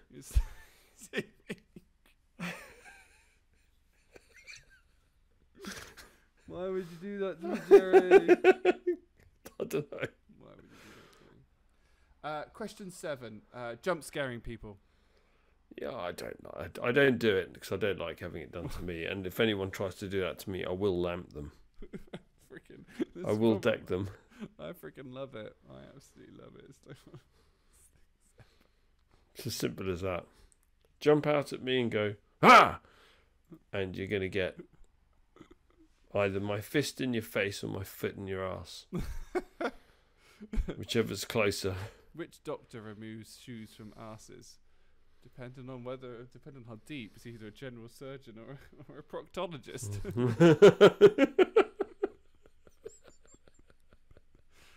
Holds up the sign, sarcasm. no, I, I, I'm not gonna lie, I love it. It's, it's about the only practical joke that I think. I, d- I don't know why I find it so funny. Like I could watch um like compilations of like Ellen DeGeneres. I don't like I've said this before. I'm not a massive fan of Ellen herself, but on her show she'll do jump scares with the celebrities. So she'll, you know, there's she's got a table next to them, so occasionally someone will jump out or somebody will just sneak behind them and go bah, and and or she'll hide in the in the dressing room like bathroom and again do the same. I don't know why I find it so funny. It just it just really Well, me. So I like watching them, yeah. So I like Yeah. watching Jackass, and they do a lot of that on Jackass as well, and surprise each Slaps- other. slapstick That kind of thing, yeah. Genius. Yeah, it is, and I love watching it. I, I don't like doing it. I've never done it, and I don't like being on the Ah. receiving end of it. But I love watching it. Yeah. Yeah, I, I don't. Do you know if it's again if it hasn't got the tension build up? If I don't know it's going to happen, and somebody just suddenly goes, "Bah!" I'd be like, "You," I you know, probably a few swear words. But afterwards, I think actually that was probably quite funny. yeah. I, I, I can I, I can always see the humorous side like later on. If you then take things like, uh, I'm just trying to think now. Um, like again, just it just it's just if it don't have that tension, if it's just a surprise, then gr- it's great. Yeah, there, there's one. What was that YouTube clip? And it was absolute genius. So there's that horror movie of that with that nun. It's a really creepy nun. Mm. So obviously the wife or the girlfriend dressed has dressed up like that nun and done the makeup like like her really well, Mm. and somehow managed to go and stand on top of the fridge. And when the boyfriend or husband's gone and set the camera up so the boyfriend husband switch got, come into the kitchen, switch the light on, open the fridge door, grabbed something and looked up and gone, oh, and you literally could see. I've never seen such fear, but Yeah. but I would be because she's just kind of crouched down on top of the the fridge, Yeah. and you would absolutely shit yourself Yeah. I'm you're on the maybe receiving not end of that. less of a fan of maybe like especially if it's something that like continues. So if you've jump scared someone and then you chase them, that to me Oh, is a step too that's- far. Yeah, There is um there's a there's a, a a couple that I follow, well a family that I follow on um TikTok, um where they they do confetti cannons everywhere. Like, yes, I've seen them. I've Yeah, seen that. Jo- yeah, Joe and Lindy, I think it's. that's right. Yeah, and they'll and they also do like balloons, and they're filled with some kind of. This is going to sound really dodgy, but some kind of white substance. Yeah, I think evidently like shaving cream or something. Yeah, yeah, yeah. So they'll put the balloon, like they'll hang the balloon above the doorway, and then he'll That's shoot right. the balloon just as she's walking through, and it hits her, and then they'll fire the confetti cannon off. Or, you know, she's hidden in like. Uh, there was one that I saw recently where she's hidden in um, a, a dry cleaner's kind of bag for a suit. And she's got the confetti cannon just popped out, and then he walks through the door, and then she just and he's not expecting it. And she just goes bang. So he jumps, and then there's confetti everywhere. It's, like, it's genius. It's like that is the type of innocent fun that I, I I'd absolutely love, and it's the only time I really. I would, it's probably the reason why I am bloody single, to be honest, isn't it? Like I, I that would just be so much fun to have as a couple. Or um, what's the other like joke that I that I like? Oh, is where you know husband or wife turns returns home and it's there's a, there's a water pistol or like a nerf gun and it says um, I'm hiding in the house. Whoever wins, whoever loses has to cook dinner. And then Brilliant. goes around this, and th- you know, there's one where she gives him this tiny little Nerf gun, and then she comes out with like this, this Machine like, gun. in the machine gun. ho ho ho! I have a machine gun, Nerf gun, and she takes him out. Ah, th- that to me, that's genius. That those types of things, those types of jump scares, great. Absolutely Excellent. Question eight: uh, Going to Mars or other planets? Or, as I'm reading it, plants.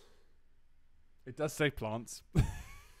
Just it does say plants. So I, I'm glad you clarified it because I assumed it planets, but I thought no. But there is a, is there a plant connection here? So I don't know.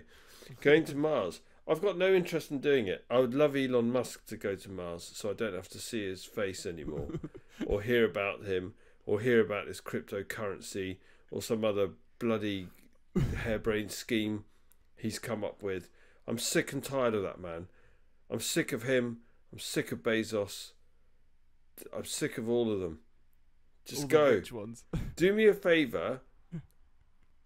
Permission to swear. Permission granted. Just fuck off to Mars.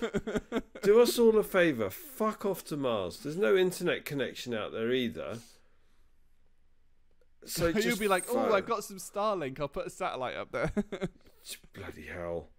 Just fuck off to Mars. Leave us alone. No one's interested anymore. You creepy bastard. Just go. I I don't. I don't know if I'd want to. I'm really on the fence on this one. Really? What do you want to go to Mars for? There's no Nando's. for a start. That's it. Swung it.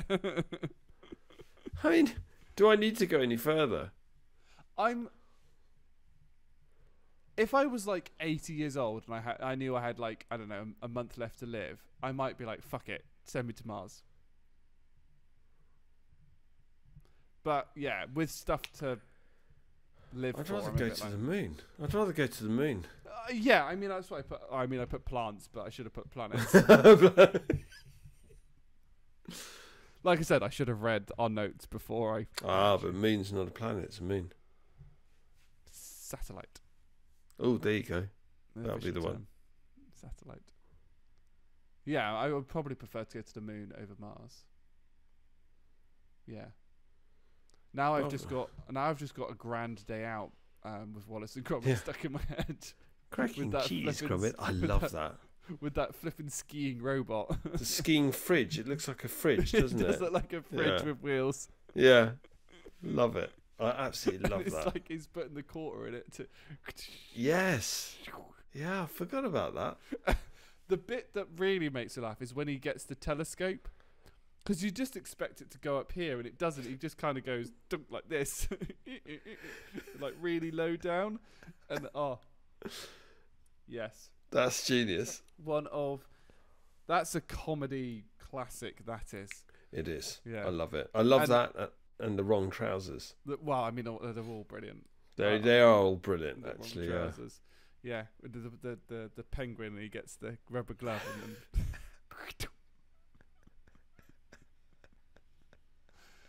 and it's always the and I'm now showing Jerry I can do like the the Wallace Yeah, the Wallace brilliant. hands where you've got like the tips of your fingers are touching the inside of your knuckles. Yeah, yeah. And then it's go, we forgot the cheese, Gromit. We forgot the cheese. oh dear. And you got the slow sizzle of like using like like a match and a string to light this rocket. It's brilliant. but they still have a countdown that's somehow yeah, accurate. the, yeah. it's genius. It's genius. Genius. I mean, that was a quick question, so we can probably move on quite well. Um, question nine War of the Worlds. Good story. I didn't know it was a story. I only know it as a um, musical. Oh really? Mm. No, it was, it was um oh god, who's the original author and it was was it narrated by Orson Welles? Jeff Wayne's musical version of War of the Worlds. That's the only one I know it of. Um, and it's my mum's second most hated film, uh, a second most hated uh, album that my dad owns. Because my dad owns the. Um, when I say album, it's a, it's like a, it's a, um, a vinyl. Oh really? Mm, yeah. Okay. Because it starts off, no one would have believed in the last years of the 19th century that human affairs were being watched. And it's really good. It's really, really good. The narrator on it is fantastic, um, by Jeff Wayne. Um, and when for so, there was also a period of time when I first listened to it, but you know, me and my dad were perhaps a little bit obsessed with it. So every now and then we'd just walk downstairs and we'd go, "No one would have believed in the last years of the 19th century," and my mum would be like, "Shut up." then to wind her up, you just go, "Flash, Flash, I love you, but you've only got 47 hours to save the Earth," which is the other bunch of musical that my mum dislikes. Flash Gordon. I, I I dislike musicals full stop. But I didn't know there was a musical. Mm. Um I didn't know it was a book. I, I- yeah, so it's it's it's a novel by H.G. Wells, first serialized in 1897. Can you believe it? By Pearson Magazine in the UK. 1897. Yeah, 1897. Oh, wow. It is one of the earliest stories to detail a conflict between mankind and an extraterrestrial race. Yeah, wow. That's amazing. But the thing is, I say I didn't know this, but as soon as you said H.G. Wells, I went, of course it is. So I must Yeah, have known about the book and just not, not known that they were linked somehow. Yeah, and they they serialized it on radio, didn't they? Mm. And it Dramatized on the freaked every program. yeah, and and it freaked everybody out because people thought, "Shit, is this for real?" Yes, yeah. It, it caused public panic among listeners who y- did not know the Martian invader was fictional. Yeah, Yes, yes. Uh, I, I, I, and yeah, that's right. Most memory dramatized in a 1938 radio program, directed by and starring Orson Welles. Yeah, that allegedly Yeah. caused panic. Incredible. Yes, a- absolutely. Um, yeah, but um, so um, and the musical is a musical adaptation uh, adaptation of the science fiction novel *The War of the Worlds* by H.G. Wells in a rock opera style with a rock band, orchestra, narrator, and uh, leitmotifs to carry the story and lyrics express the feelings of various characters. Richard Burton is narrator. Which is nice. I mean, if you're going to get somebody to do that narration, Richard Burton, yeah, with his voice, Yeah, yeah, he's amazing. yeah, yeah, yeah. Definitely, definitely, definitely. Uh, where is it, has he got a? Yeah. He is active. Was it he active to 1984? Why do I feel I've heard more of his stuff? But oh well. Yeah. So I think that's a tick in the box for us for War of the Worlds. I mean, I've not. I I must have read the book, but I'm not sure. I haven't. I haven't read it. Watched the film. What 2012 one with Tom Cruise, Yeah, which uh, from memory was average. pretty good. No, I thought it was pretty good. I wouldn't watch it again. I think Yeah. I've watched it twice, but I wouldn't watch it any more than that. Yeah. It was probably one of those what I refer to as good terrible films where it's it's it's all right, you know, it's two and a half two hours of just being able to switch off and watch something a bit pants but is entertaining. It's entertaining. It's a bit creepy at times. Yeah. It it does build. Yeah, the special effects are good. I yeah, I, I like it. I can't fault it. It's it's too Hollywood, but Yeah, I mean it's got Mr. but brilliant Hollywood himself, effects. hasn't it? Yeah, exactly. Question 10 and it's the one that we've referred to a couple of times, the matrix theory. Yeah. See, this is this is the point where I struggle more with ghosts than aliens, because I, or I don't, or I don't, I don't see ghosts as a, um, as a physical representation of something. So I can't, I can't perceive this like pearly white ghost, like going around and doing stuff, knocking stuff off counters like cats do. I, I see more as like ghosts are. So if you take the so the Matrix theory being that we're in a simulation, Yeah. right? We are part of a computer, and I like the whole story of the Matrix. To me, makes sense. We're in some kind of simulation. There is a thing that we don't know about that is a higher power. Ghosts are glitches. It's a bit like not necessarily deja vu, but you know the the computer should have simulated X and it didn't. It simulated Y. It's a bug in the system. Aliens are a programmable thing that has been put into the system to to, to for us to, to take part in. Um, so I can't, you know, I fully believe about the the the feeling of the presence and and the you know that paranormal activity being an actual thing but I can't picture like pearly white ghost. I think that's that that's the only bit I'm like not so sure about pearly white ghost. Well, okay. Wait. So, so okay. It, I don't know if this helps in any way, shape, or form. But bear in mind all the experiences that I've had.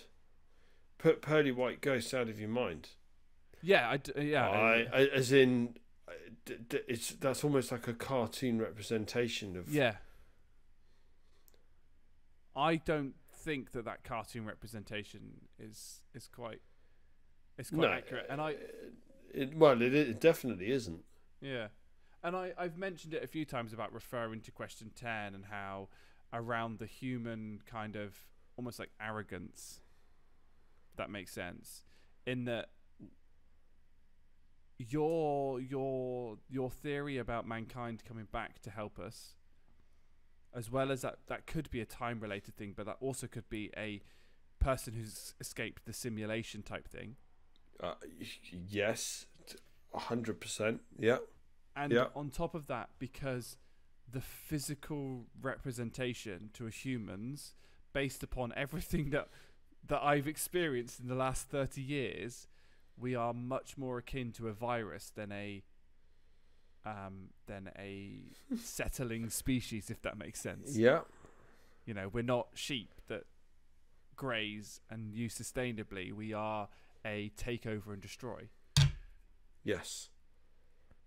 and and that's where my like theory of the matrix the, the, the matrix theory i think is is more accurate and and why i think that even with these paranormal and alien activities ai can still be involved because a lot of people will go AI is a thing, therefore none of the other bits can be real, and I think that all all three can exist. They can do. Yeah, I see where you're going with that. So Yeah, they could do. that was a very quick like whirlwind tour of like my kind of theory. I mean, apart from the Th- fact The Matrix being one of the best film, probably the best film of the nineties. isn't it? Well, maybe even one of the best films of all time. I would, I would argue Mm. because Top it was five, so definitely. mind blowing. Yeah. Yeah. Um, the that matrix theory is something we need to hold on to because I think it's gonna we're gonna be able to weave it back into a lot of those Mm. conversations in the follow up where I talk about my experiences. So you you could then kind of link that to well, could that how would that work in the matrix? Mm. Could it work in the matrix? I suppose you could rationalize it using matrix theory. Yeah, and Yeah. and, I, and I, I mean, you know, for me, it's not quite as clear cut, perhaps, as the Matrix makes it in terms of the simulation and you know what the human is actually used for. I don't, I don't think that quite exists yet because of how non. You know, when you think about it, you know, we do still have some things that are very good. I mean, we're still you know the sky is still blue it's not scorched like it is in the matrix for example but it's it's much better than it is let's say in that film for us as as as those in the simulations so i think that the i mean it's not what if what if all of this is just a simulation? That's the point. true but the simulation is not at such a broken down piece that people are going to be you know actively wanting to to escape regularly i yeah it's it's it's a real tricky kind of thing to explain i'm i'm not sure if i'm i'm probably not doing a very good job See, yeah, imagine you know we watch The Matrix and you think, oh, okay, I get it. But what what if what we're experiencing, what we're living in, is a, a, Matrix reality that's hundreds and hundreds of years more evolved, thousands of years more Mm. evolved than what we saw in The Matrix. yeah may, maybe we're on like iteration i don't know 70. Could be, yeah. you know and we've discussed And- about the, it's discussed in there about this perfect world. And how actually an imperfect world is more satisfactory. That you know you talk about the self-help books that they actually say that you don't want a life without problems. You want a life with manageable problems because you want that satiable appetite to solve them which is why you have an imperfect world. Now at the moment i certainly think for god's sake give us a bloody break. Yeah. you know? It's not even funny now. No, it's not. It's it's it's it's not. It's ridiculous. It's it's you know, two recessions, a a pandemic, some terrorist events, and now a bloody world war. And you're thinking, oh my god. Yeah. Just not But- even go there. Yeah. So I think. But- Oh, sorry. Go. No, no, no. Go on, go on. I was gonna say I think we're we've kind of come to like a, a like a bit where we like we could really go deep into some of this, and I think we're just gonna have to do a, a Halloween special, aren't we? And just let rip with the Jerry stories. I, I think, yeah, I think so. But, uh, but, but, I think it needs to be those stories. But we need to have the Matrix theory in there. We have to, Mm. and I think we need to, kind we need to link them through to see, could Matrix theory explain that? Yeah, absolutely. In fact, so I, I would suggest those stories that I tell, Matrix theory and parallel universe theory. Mm. Those two things need we we need to almost sense check them against those two. yeah. Yeah, see if there's any potential link.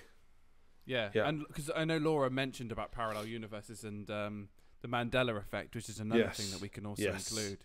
Um, absolutely, and and you know, and, and and I think it'll also be good to maybe add the third element, which is about the whole.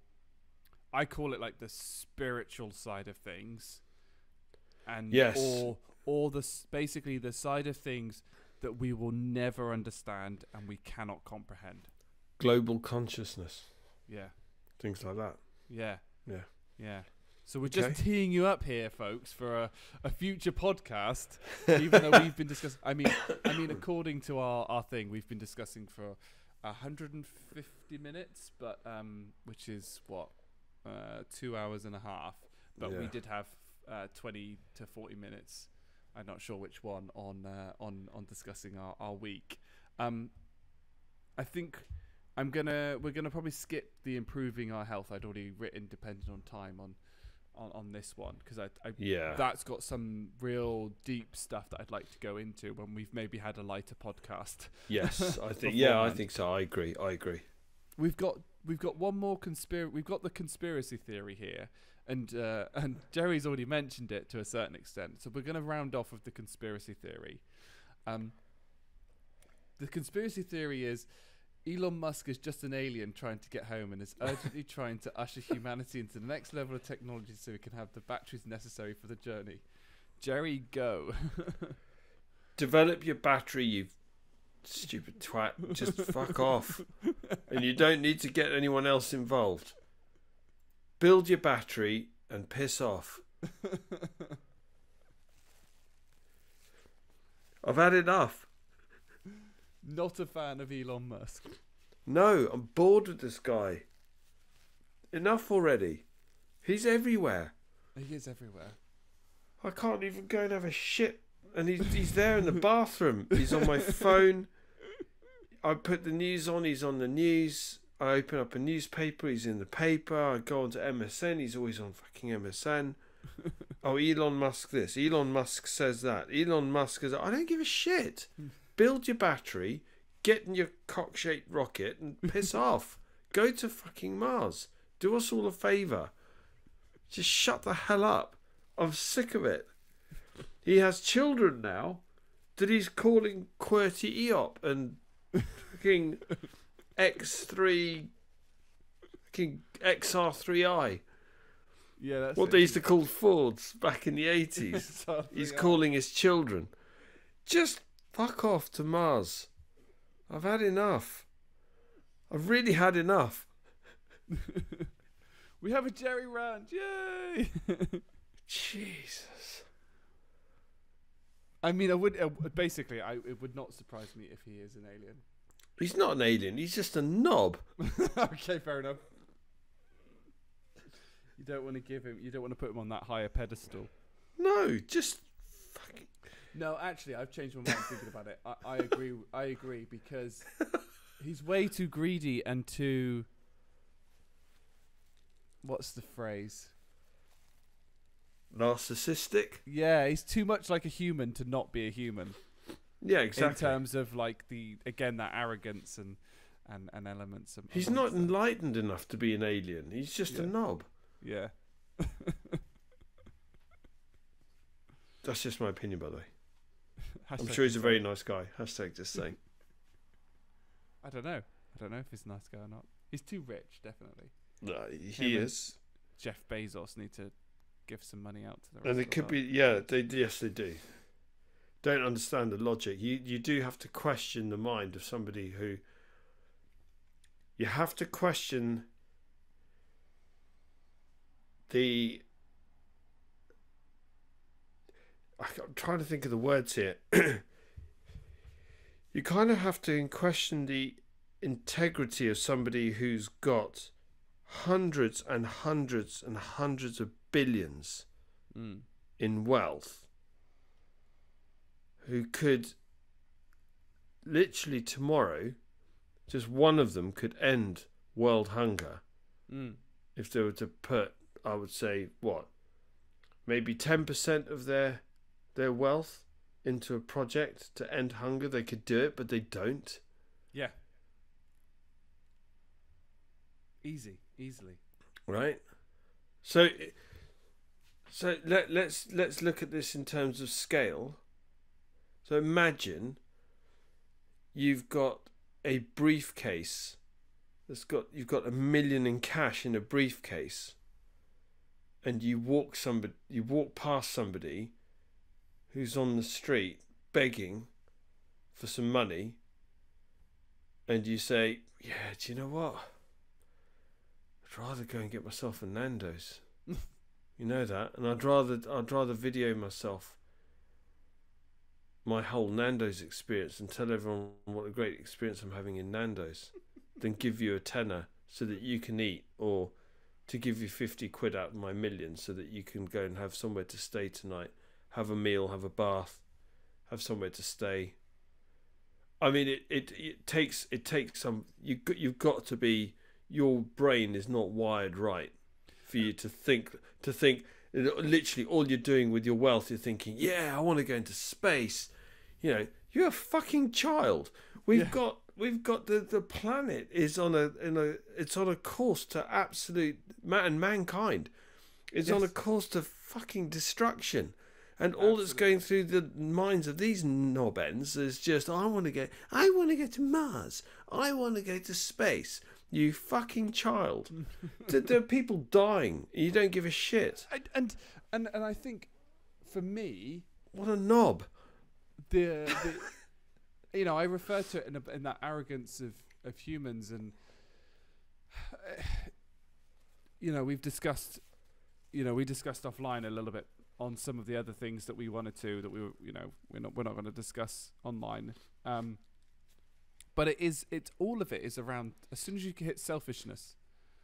As soon as you hit selfishness, that's that's when money, wealth, fame, things like that will will do that. And you know, I will happily hold my hands up and say I'm the same to a certain extent. Maybe not on a grander scale, but you know, I, I the the way that the human race is conditioned at the moment is to that's how you accept because we are a survival uh, animal, so to speak. You know, the, the whole point of us is to try and survive. And at the moment, the way to survive in 2022 is to have attention and earn lots of money, so you can survive in the capitalist democracy that we've kind of built up. And interesting, the interesting thing about that means that, you know, I'm guilty of it. I'm guilty of being like, yes, I want more attention. Yes, I want to look good on social media. Yes, I want to feel good about this, that, and the other. And then, and then you don't because, woohoo, you know, social media. um, and yeah, and then you get people at the top that just seem to really personify this about yes, I've got 96 billion pounds in wealth, and I'm going to give, you know, I I could, you know, literally, you know, it's it's probably not quite that simple. You know, we're probably oversimplifying it. They could solve world hunger, but they certainly could save quite a few people. Um, you know, I'm They sure. bring people out to, to to redistribute a quarter of their. If if you had Zuckerberg between Zuckerberg, Bezos, Gates, and Musk, if you said to them, give up ten percent of your wealth, your entire wealth each, and redistribute it across the population, I'd love to know how many billions that is, and what an impact that would have to everybody in terms of wealth in the world. so That that would be an interesting. Uh, let's see if I can do like wealth. He's a hundred hundred and ninety billion. Apparently, Right. Elon Musk is two hundred and sixty-six billion. Right. Flipping egg. How much is Gates Uh, hundred and thirty-four. and Zuckerberg? Uh, I don't know. It's not. He's not on the on the, the thing, but probably someone, someone. Oh, I've just got to do. Musk, Bezos, Arnault. What does he own? Oh, owns Christian Dior. Bill Gates. Larry Page. Oh, owner of Google. Warren Buffett. Uh, I don't know the other one. Steve Ballmer's up there because he owns that. Mark Zuckerberg, I don't. It's not in the top ten. Amazing. He's not in the top ten. Okay. Yeah, interesting. Um, but y- y- you know, let's just take so ten percent. That's what a billion, maybe two billion if we round it up. No, no. Wait a second. How much wealth have we got? We're talking about Oh, so ten percent? Did you say ten? Ten percent. Oh yes, it's twenty billion. 20 billion. right? Let's say another 20 billion for Musk, and then let's say another 20 billion for Gates. So you're talking like Roughly. let's, let's say six, So that's 60 60 billion. 60 billion. Is that enough to give um, people in the world? Well, I'm talking about. Wait one second. I'm not talking about giving it to everybody. I'm talking about giving it to people who are below the poverty line. So then you want to take a. You want to to calculate how many people are living below the poverty line, and then Ah. then you take your 60 billion divide by the number of people living be- below the poverty line, and it'd be interesting to see what that figure is. It's interesting. It's, it's, it's difficult to do that because I mean, one percent. Uh, sorry, 90, 99 percent, something like ninety percent of the wealth is owned by one percent of the people, or something stupid like that. So there's quite a lot of people that, that would be, quote air quote, below the poverty line. But what's interesting is, you know, you could still take that sixty billion and you could save a fair number of. Well, no, wait one second. Being below the poverty line is not sitting in that ninety-nine percent. You got one. You got majority of the world's wealth held by the top one percent or Hmm. one percent of the one percent. It's it's very very disproportionate. Yeah, But you've only got a lot. yeah. less. It's it- a lot it's, less. it's it's a lot less in terms of people actually below the poverty line. Mm, yeah, yeah, hundred percent, hundred percent. Um, so I think the, the short answer is we don't believe he's an alien because he's too human and too arrogant as a human. To, Exactly that. I mean, this is our opinion, so we could be wrong, but definitely. But but Definitely. do you know what? Do something to prove otherwise. Mm, because it's through actions. No one's ever going to, you know, I'm not mates with Musk and I'm not mates with Bezos. So I can only judge based on what they do. And all I see them do is talk about fucking off into space or fucking off to Mars yeah, absolutely. or, you know, some other pointless exercise. Exercise. Pointless, pointless. Right. We have been recording for quite a while, and we've teased a lot in our on our podcast. Yeah. um, For going forward, uh, Jerry, do you want to finish us up with your final thoughts on just what we've discussed overall? I think the what makes people rich in this world is is being compassionate for other people and what they can do for other people and how they can make somebody feel. So you can have all the money in the world and if you can't make somebody feel good and you can't make them laugh, you can't make them happy or make them feel secure, then what's the point? mm. And there's so much in life to be experienced as well that money can't buy you. So those those experiences that I've had, for example, but what I'd classify as a paranormal experience, you can't buy that. Mm. It doesn't. I, I could have I could have billions, but I couldn't buy those experiences. And I've had some of the most incredible experiences. And I think back on it, that I didn't ask for. I don't know Mm. why it happened, how it came about. So there's a lot.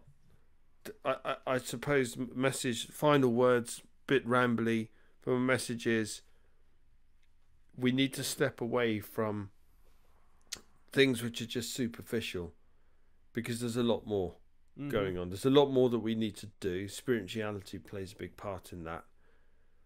And th- there's a lot more, there's a lot about this world that we don't know. There's a lot Mm. that we need to learn. So, to your point, we are, as a species, very arrogant. Mhm. And we need to stop being so arrogant. Yeah, hundred percent. And and and I and I fully accept that I am part of the problem as well. As I'm as part of the problem. We're all part of the problem to some to a greater or lesser degree. But really, Dom, you know, take a look at, at us, you and I, conversations that we've had, our mentality, our outlook on life. Mm. You know, we think differently to the average person Yeah, in a good Yeah. way. in a good in a in a good way. And I'm sure there's others that that do as well. But we definitely are, tr- uh, you know, and this is one of the reasons why I love the podcast is we wanted to try and be somebody that could step forward. Um, brilliant. I think I think I think we're finished that for today. What a Dom, podcast! thank you. What a podcast. Wow. Um, Wow. oh, there we go. The first wow There you go. podcast. The first wow. wow. It comes right at the end. Folks, thank you ever so much for listening. We do really appreciate it. Uh, again, we're trying new things, new topics with this podcast, and we're just we're just having a great conversation. So we're just very grateful for you to come along for the ride. Um, please uh, leave us comments, messages on thoughts, feelings, and anything else that you'd like us to discuss. Um, and thank you very much for listening. And hit like, hit subscribe. Thank you for your support. Catch you on the next one, folks. Take care, everyone.